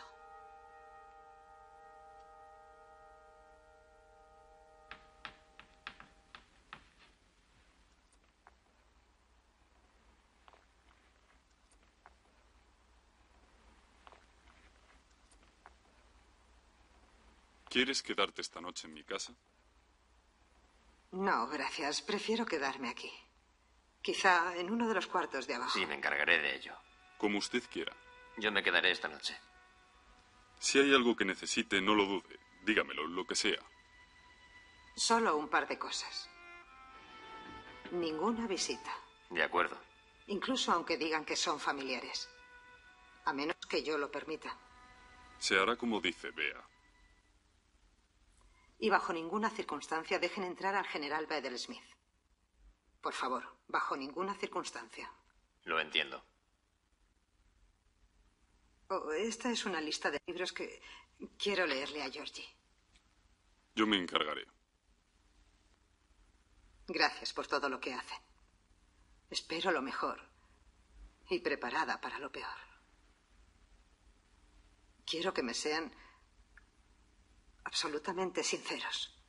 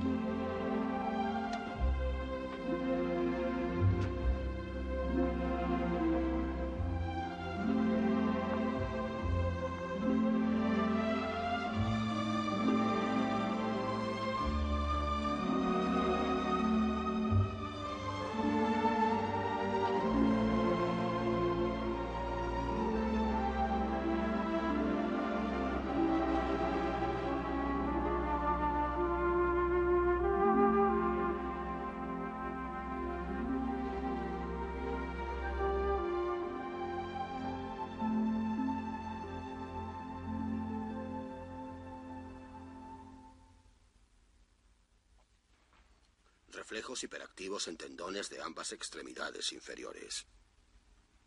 La movilidad todavía es inexistente. Parece como si estuvieran a punto de hacerme la autopsia. No diga eso, general. No tiene gracia, Georgie. Perdona, Bea. Eh, Siento haberle hecho salir de su casa, coronel. Al parecer no va a poder pasar las navidades con su familia. General, con tanto niño pequeño no creo que nadie tenga tiempo de echarme en falta. Ah, exagera. Le echarán de menos. Por el momento, el general parece estar en una condición bastante estable. Está aguantando muy bien. Salvo complicaciones imprevistas, está fuera de peligro. Al menos de peligro de muerte inmediata. Comprenderán que por toda clase de razones es absolutamente necesario que sobreviva. No importa cómo, pero hagan lo que puedan para mantenerle vivo. Sí, diga. Bien, se lo diré. El general Patton quiere verle. A solas. Los médicos me asombráis. ¿Por qué?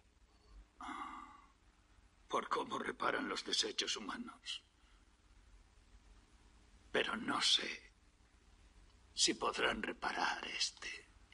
Bueno, pues lo intentaremos. Aquí hay mucho en juego. Lo sé.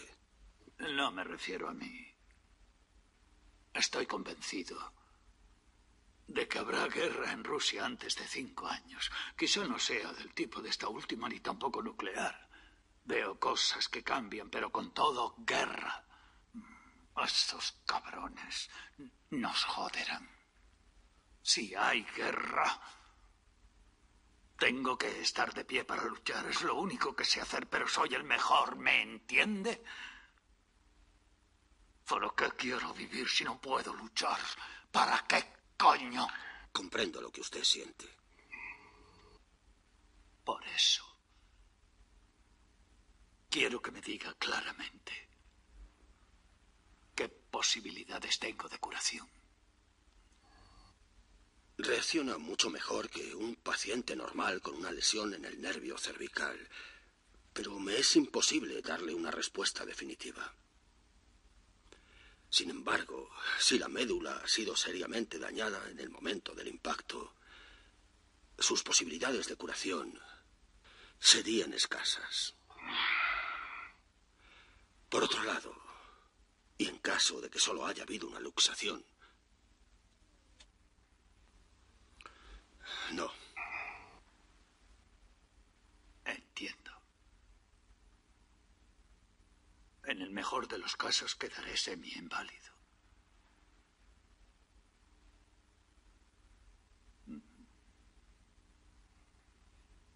¿Inválido total? General. yo- Gracias, coronel, por su honradez. Es lo que más aprecio.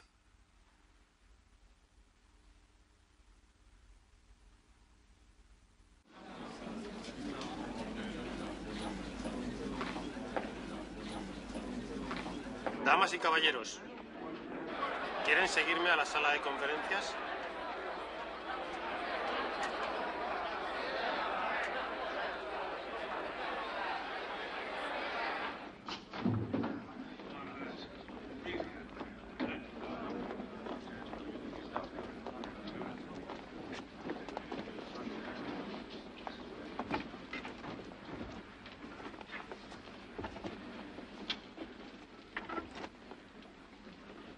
Aquí los tienen. Hay que tener cuidado. ¿Quieren guardar silencio? Gracias. Como saben, se va a celebrar esta conferencia en vez del parte médico que se suele emitir a las seis. Siento llegar tarde. No llega a tiempo. Esta conferencia de prensa es una concesión a los medios, aunque como médicos reconocemos que estamos violando el secreto profesional. Debido a este hecho, declinaremos contestar a las preguntas que juzguemos impropias. Quiero presentarles al coronel Spurling, que ha servido durante la guerra como jefe de neurocirugía en Europa. La mayoría ya conoce al mayor. Nuestro oficial de Relaciones Públicas. Yo soy el teniente coronel Paul Hill y creo que podemos empezar. Eh, coronel, ¿de qué color son los pijamas del general? ¿Son suyos o del gobierno? Del gobierno. Quisiera saber si el general toma zumo de naranja o de uva en el desayuno. Zumo de naranja. Coronel, dígame, ¿dice muchas blasfemias en el hospital? ¿Puede darnos algunos claros ejemplos? No, no puedo. ¿Cuál de las enfermeras es la preferida? Creo que no tiene ninguna enfermera preferida. ¿Sufre el general alguna parálisis? Señora, por favor, muy amable.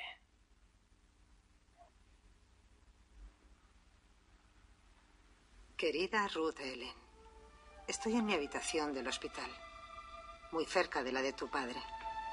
Paso la mayor parte del día con él, leyéndole párrafos de los libros que le han gustado toda su vida. Eso le ayuda a no pensar en su estado actual. Y a mí también me ayuda a no hacerlo. Este hombre voluntarioso y decidido, extravagante y egoísta, había jugado con el destino y a menudo había seducido a la suerte. Ahora sus grandes afanes rendían su suprema recompensa.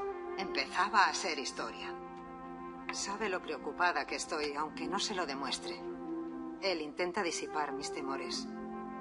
Siempre ha dicho No que yo sabía lo que era mejor para él. Esta noche no he dormido.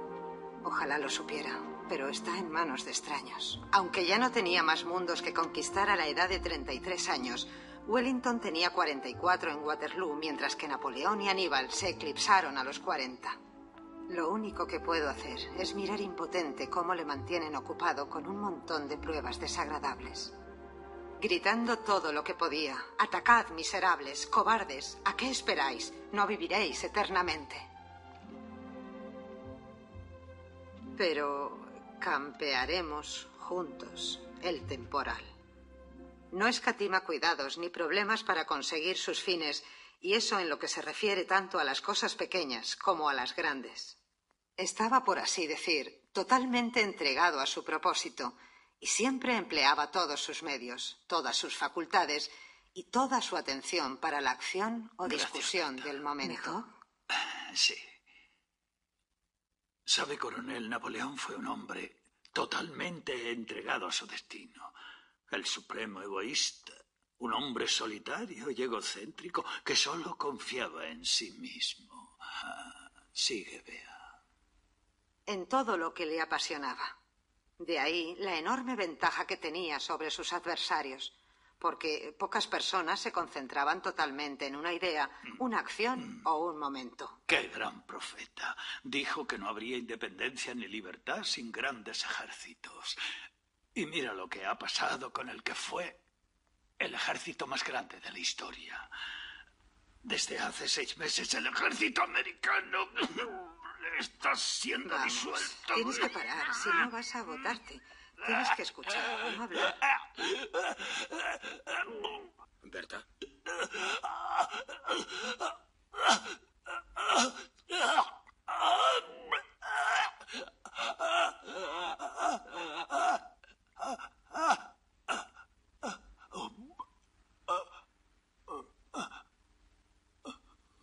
Le he puesto un sedante suave. Tranquila, se pondrá bien enseguida. Gracias, coronel. Estaré ahí mismo en el pasillo. No se excite al hablar, ¿eh? Está bien. Le provoca congestión. Y si se porta bien, le pondremos un collarín de yeso en el cuello y le quitaremos esos ganchos. ¿De acuerdo? Buenas noches, señora Patton. Buenas noches.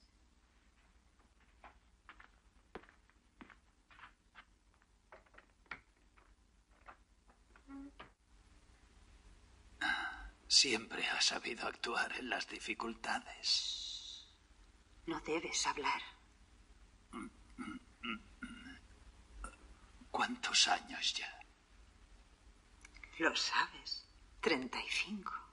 Treinta y cinco. Me has aguantado mucho. Cualquier otra mujer me habría dejado hace tiempo. Yo no soy otra mujer. No, tienes razón. Siempre ha sido lo más importante para mí. No hay ninguna. Georgie, no tienes que decir nada. ¿Cuánto me has querido? Has pasado casi toda tu vida esperando por mí. ¿Recuerdas cuando desembarcaste en África? No puedo explicar lo que sentí cuando anunciaron por la radio que tu desembarco había sido un éxito, que habías hecho exactamente lo que querías hacer. Pensé, este hombre tiene una estrella de luz. Su influencia, su suerte, su destino que se cumple. Sabía que serían meses, tal vez años de espera lo que tenía ante mí. Pero solo podía pensar en tu triunfo, en que el primer paso estaba dado y eso era decisivo. Y entonces dije, Dios está con nosotros. Siempre lo ha estado. Y pensar que me querías resonaba dentro de mí como un repique de campanas. Me amabas.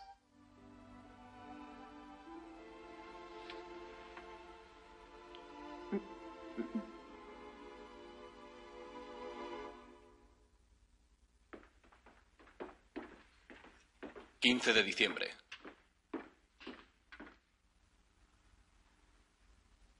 Cuando era joven, Lawrence cogió la costumbre de leer por las noches cuando se metía en la cama.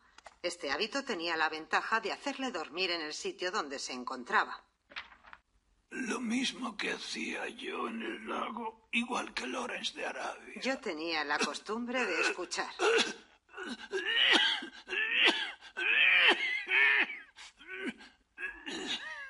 Debe descansar. Luego continuaré con la lectura. Descanse, general. ¿Ha tomado la pastilla como los chicos buenos? Pero tiene razón en lo de buen chico. Un hombre debe comer, general. Un, un hombre debe comer, aunque cada árbol sea su horca. Otra vez hablando de ese modo. ¿No le da vergüenza?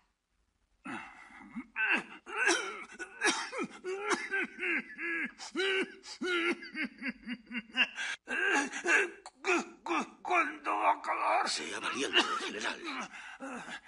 Estoy cansado de aguantar tanto. He encontrado esto en el economato. ¿Puedo? ¿Por qué no? Órdenes del médico. Se lo añadiremos a la medicación.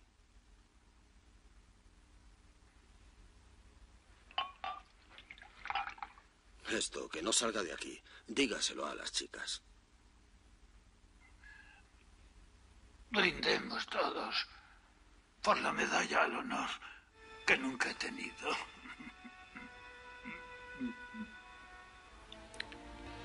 Y a partir de ahora, doctor, le nombro mi tabernero oficial.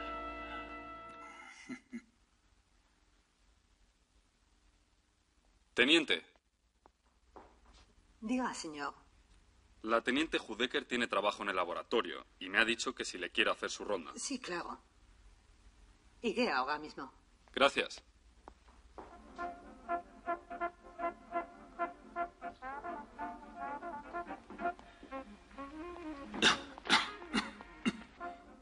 Saben la hora que es. ¿Dónde está la enfermera Judecker? Se ha tenido que quedar en... Pero Bonita música. ¿Quiere bailar? muy gracioso. Y ahora todos a dormir o avisaré a la enfermera Hudecker. Enfermera, ¿cómo está el general Patton?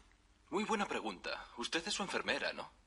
Eh, Se encuentra bastante bien. ¿Cómo está de humor? ¿Bien? Bueno, Apuesto que será muy divertido. sí que es divertido. No quiere tomar alimentos si no le damos algo de whisky. ¿Whisky? Sí. ¿Mm? ¿Quién lo diría? A pesar de estar inmovilizado en esa cama dura, mantiene su... A dormir. ¿Cree que volverá a andar? He dicho que a dormir y no más preguntas. Todos a la cama y si no apagan la radio, llamaré a la enfermera Rudecker. Oh, aquí estoy, teniente. Buenas noches. Ah, teniente Rudecker. En cama dura y con la cabeza inmovilizada, Pato pide un vaso de whisky. La rebelión del whisky. Pobre Berta, no sean duros con ella. ¿Le importa? Es bueno para mi reputación. Además, puedo reír todo lo que quiera. En ese caso, volveré luego. ¿Está cómodo? Mucho. Lo sufro, amigo mío. Pero siento una cierta dificultad para vivir.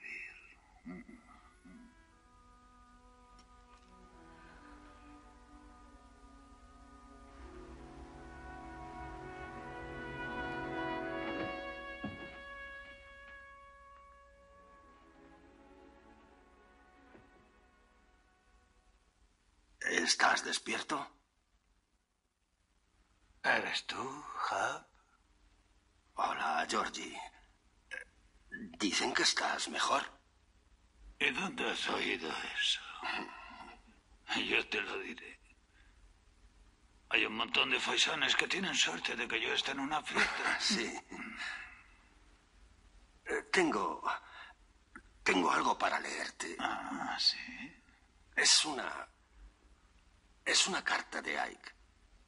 Déjalo. ¿No quieres oírla? No quiero oírla. Está bien, léemela.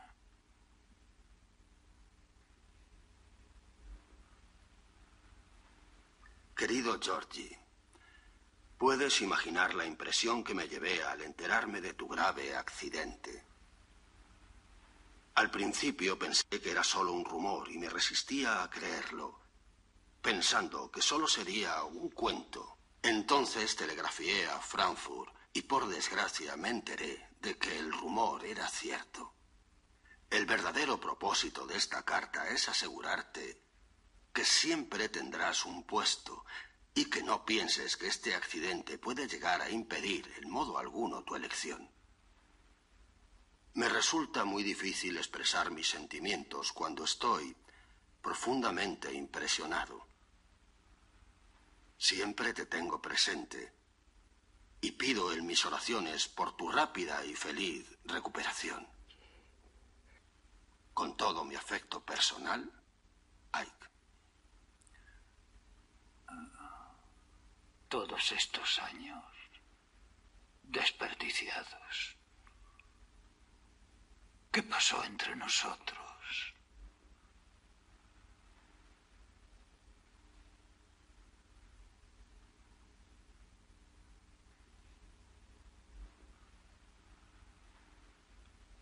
Hub, Dime, ¿de dónde has sacado ese nombre, Hubbard? Ah.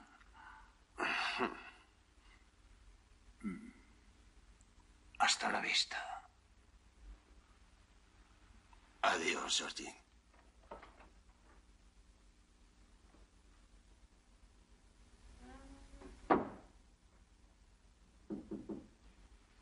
Sí, pase. ¿Quería verme? Sí, tenemos un problema, Paul. ¿Cuál? Washington no quiere que el general Patton muera en suelo alemán. Así que tenemos que prepararle para que vuelva a los Estados Unidos inmediatamente. Es imposible. Es Washington. Incluso estando fuera de peligro. Que no lo está, no se debe mover en seis semanas.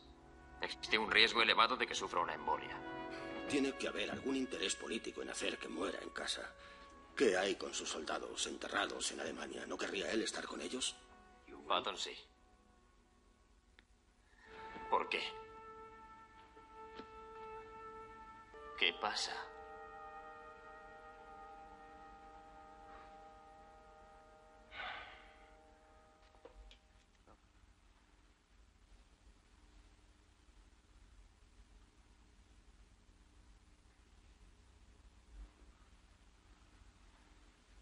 Buen trabajo, Bill.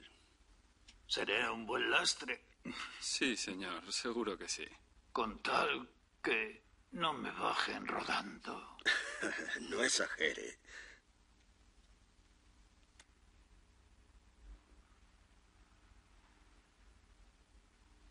Pase.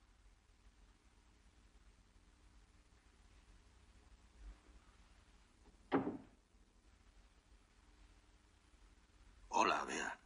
Hola, Hap. He pensado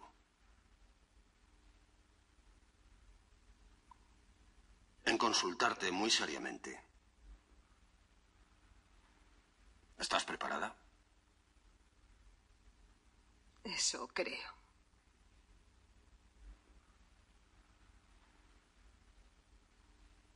Georgie les ha embaucado a todos con su vigor y encanto. La verdad la sabe el teniente coronel Hill. ¿Saber qué? Que Georgie se nos va. De día en día. Yo, yo lo veo detrás de sus faroles y bravatas. No digas eso.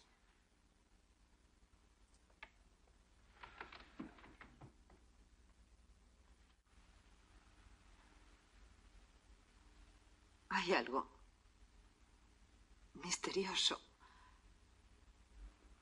en el ambiente, como un encantamiento. ¿No lo sientes?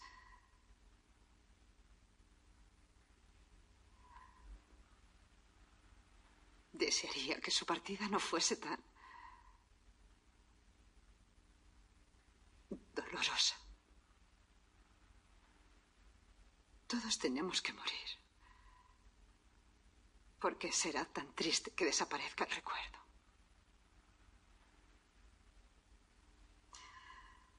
Aún así, no creo que la muerte sea el fin. Creo que volvemos una y otra vez hasta que aprendemos lo que teníamos que saber.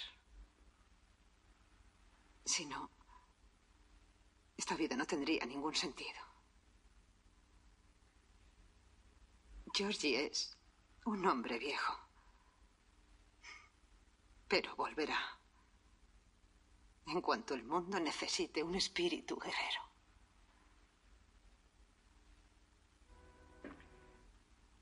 Vea. Todos estos años he tenido que ser la esposa valiente de un militar, enfrentándose a las crisis con la frialdad de un soldado. Pero todo este tiempo, aquí, he sufrido con él.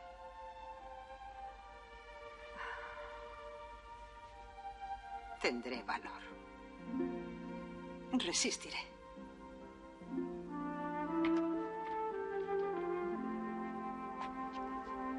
Llevarle a Boston. Antes de Navidad. Lo sé. Pero será prudente.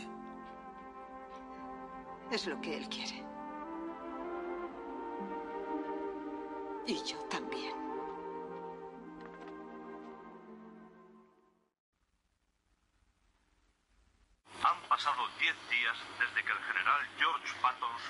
Ese desafortunado accidente al sur de Frankfurt. Incluso con el cuello roto, el viejo general, según parece, ha reasumido el mando, pidiendo a gritos algún que otro trago a sus bellas enfermeras. Fuentes del hospital aseguran que Patton ya se sienta en la cama y que pronto podrá caminar. Todos nosotros le deseamos mucha suerte, general. Aquí la voz del tío Sam en Alemania, John Strosser. Cretinos.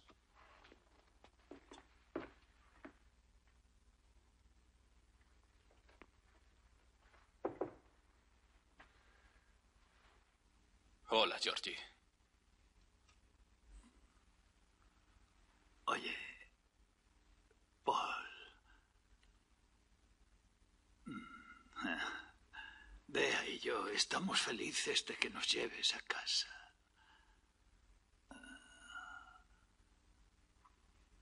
¿Qué aspecto tengo? Bueno, Georgie. Bueno.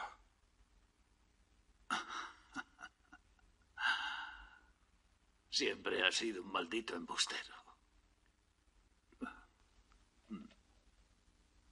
21 de diciembre.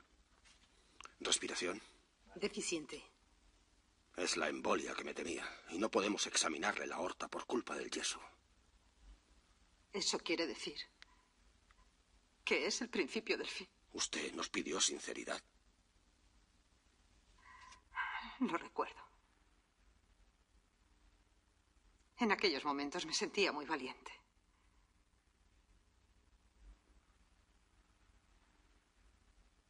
Dicen que le han mirado por rayos. Esta mañana. Y bien. Hay un trombo en el pulmón derecho. No sabemos de qué es. Le administramos digitales, suero y proteínas. ¿Qué es lo que nos pasa?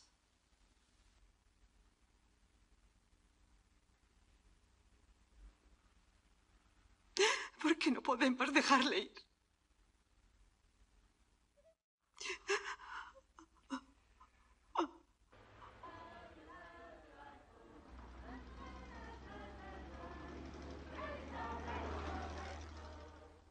daha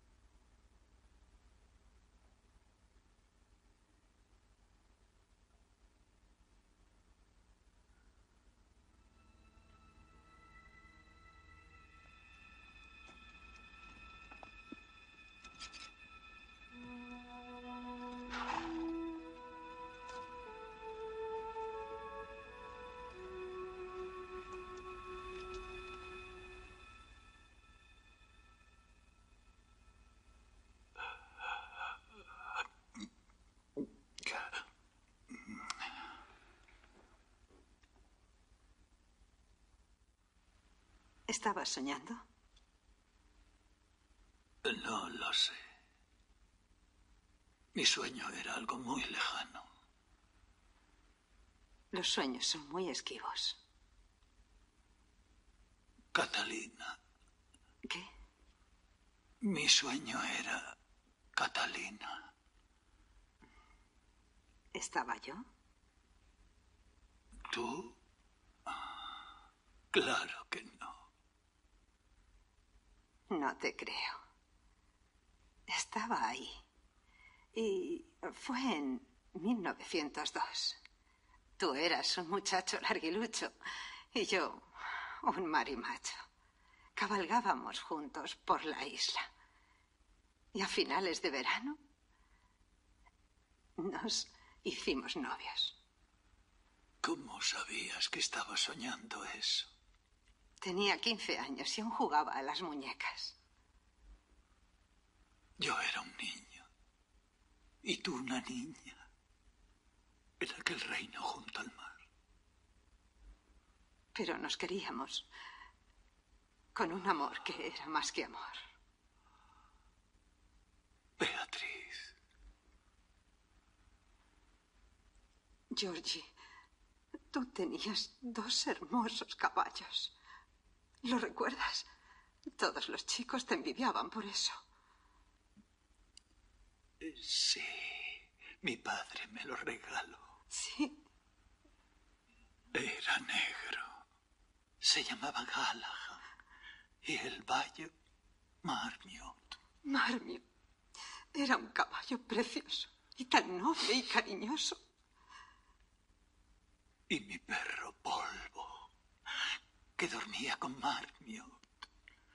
Recuerdo que una noche fui al establo cuando tenía que estar estudiando. Y me tumbé en la paja al lado de Polvo, mirando a Marmio y pensando que debería ser el más afortunado del mundo.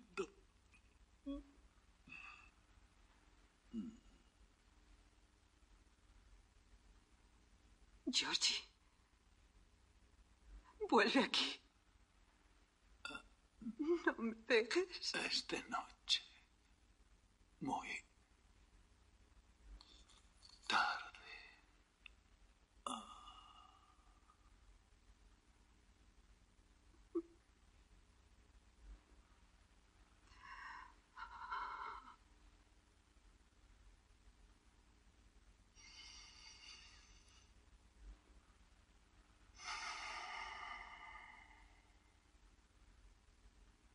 Pase.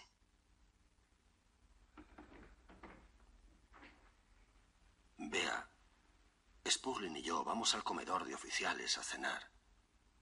¿Por qué no te vienes? No, prefiero quedarme con él. Tienes que comer algo. Vamos. Georgie está dormido. ¿Ves? Mírale.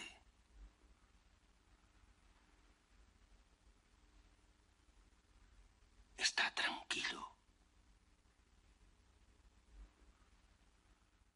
De acuerdo.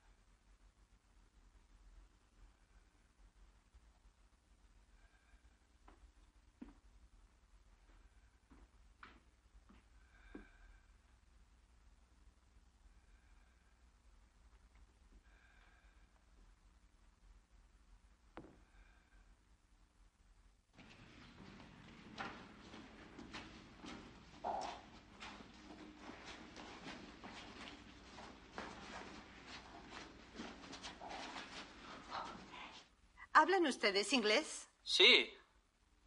Os suplico que permanezcáis en este piso tranquilos, sin alborotar y por favor hablando lo menos posible. Solo 20 minutos por hoy. Gracias por haber venido. Os estábamos esperando. Gracias. Por aquí.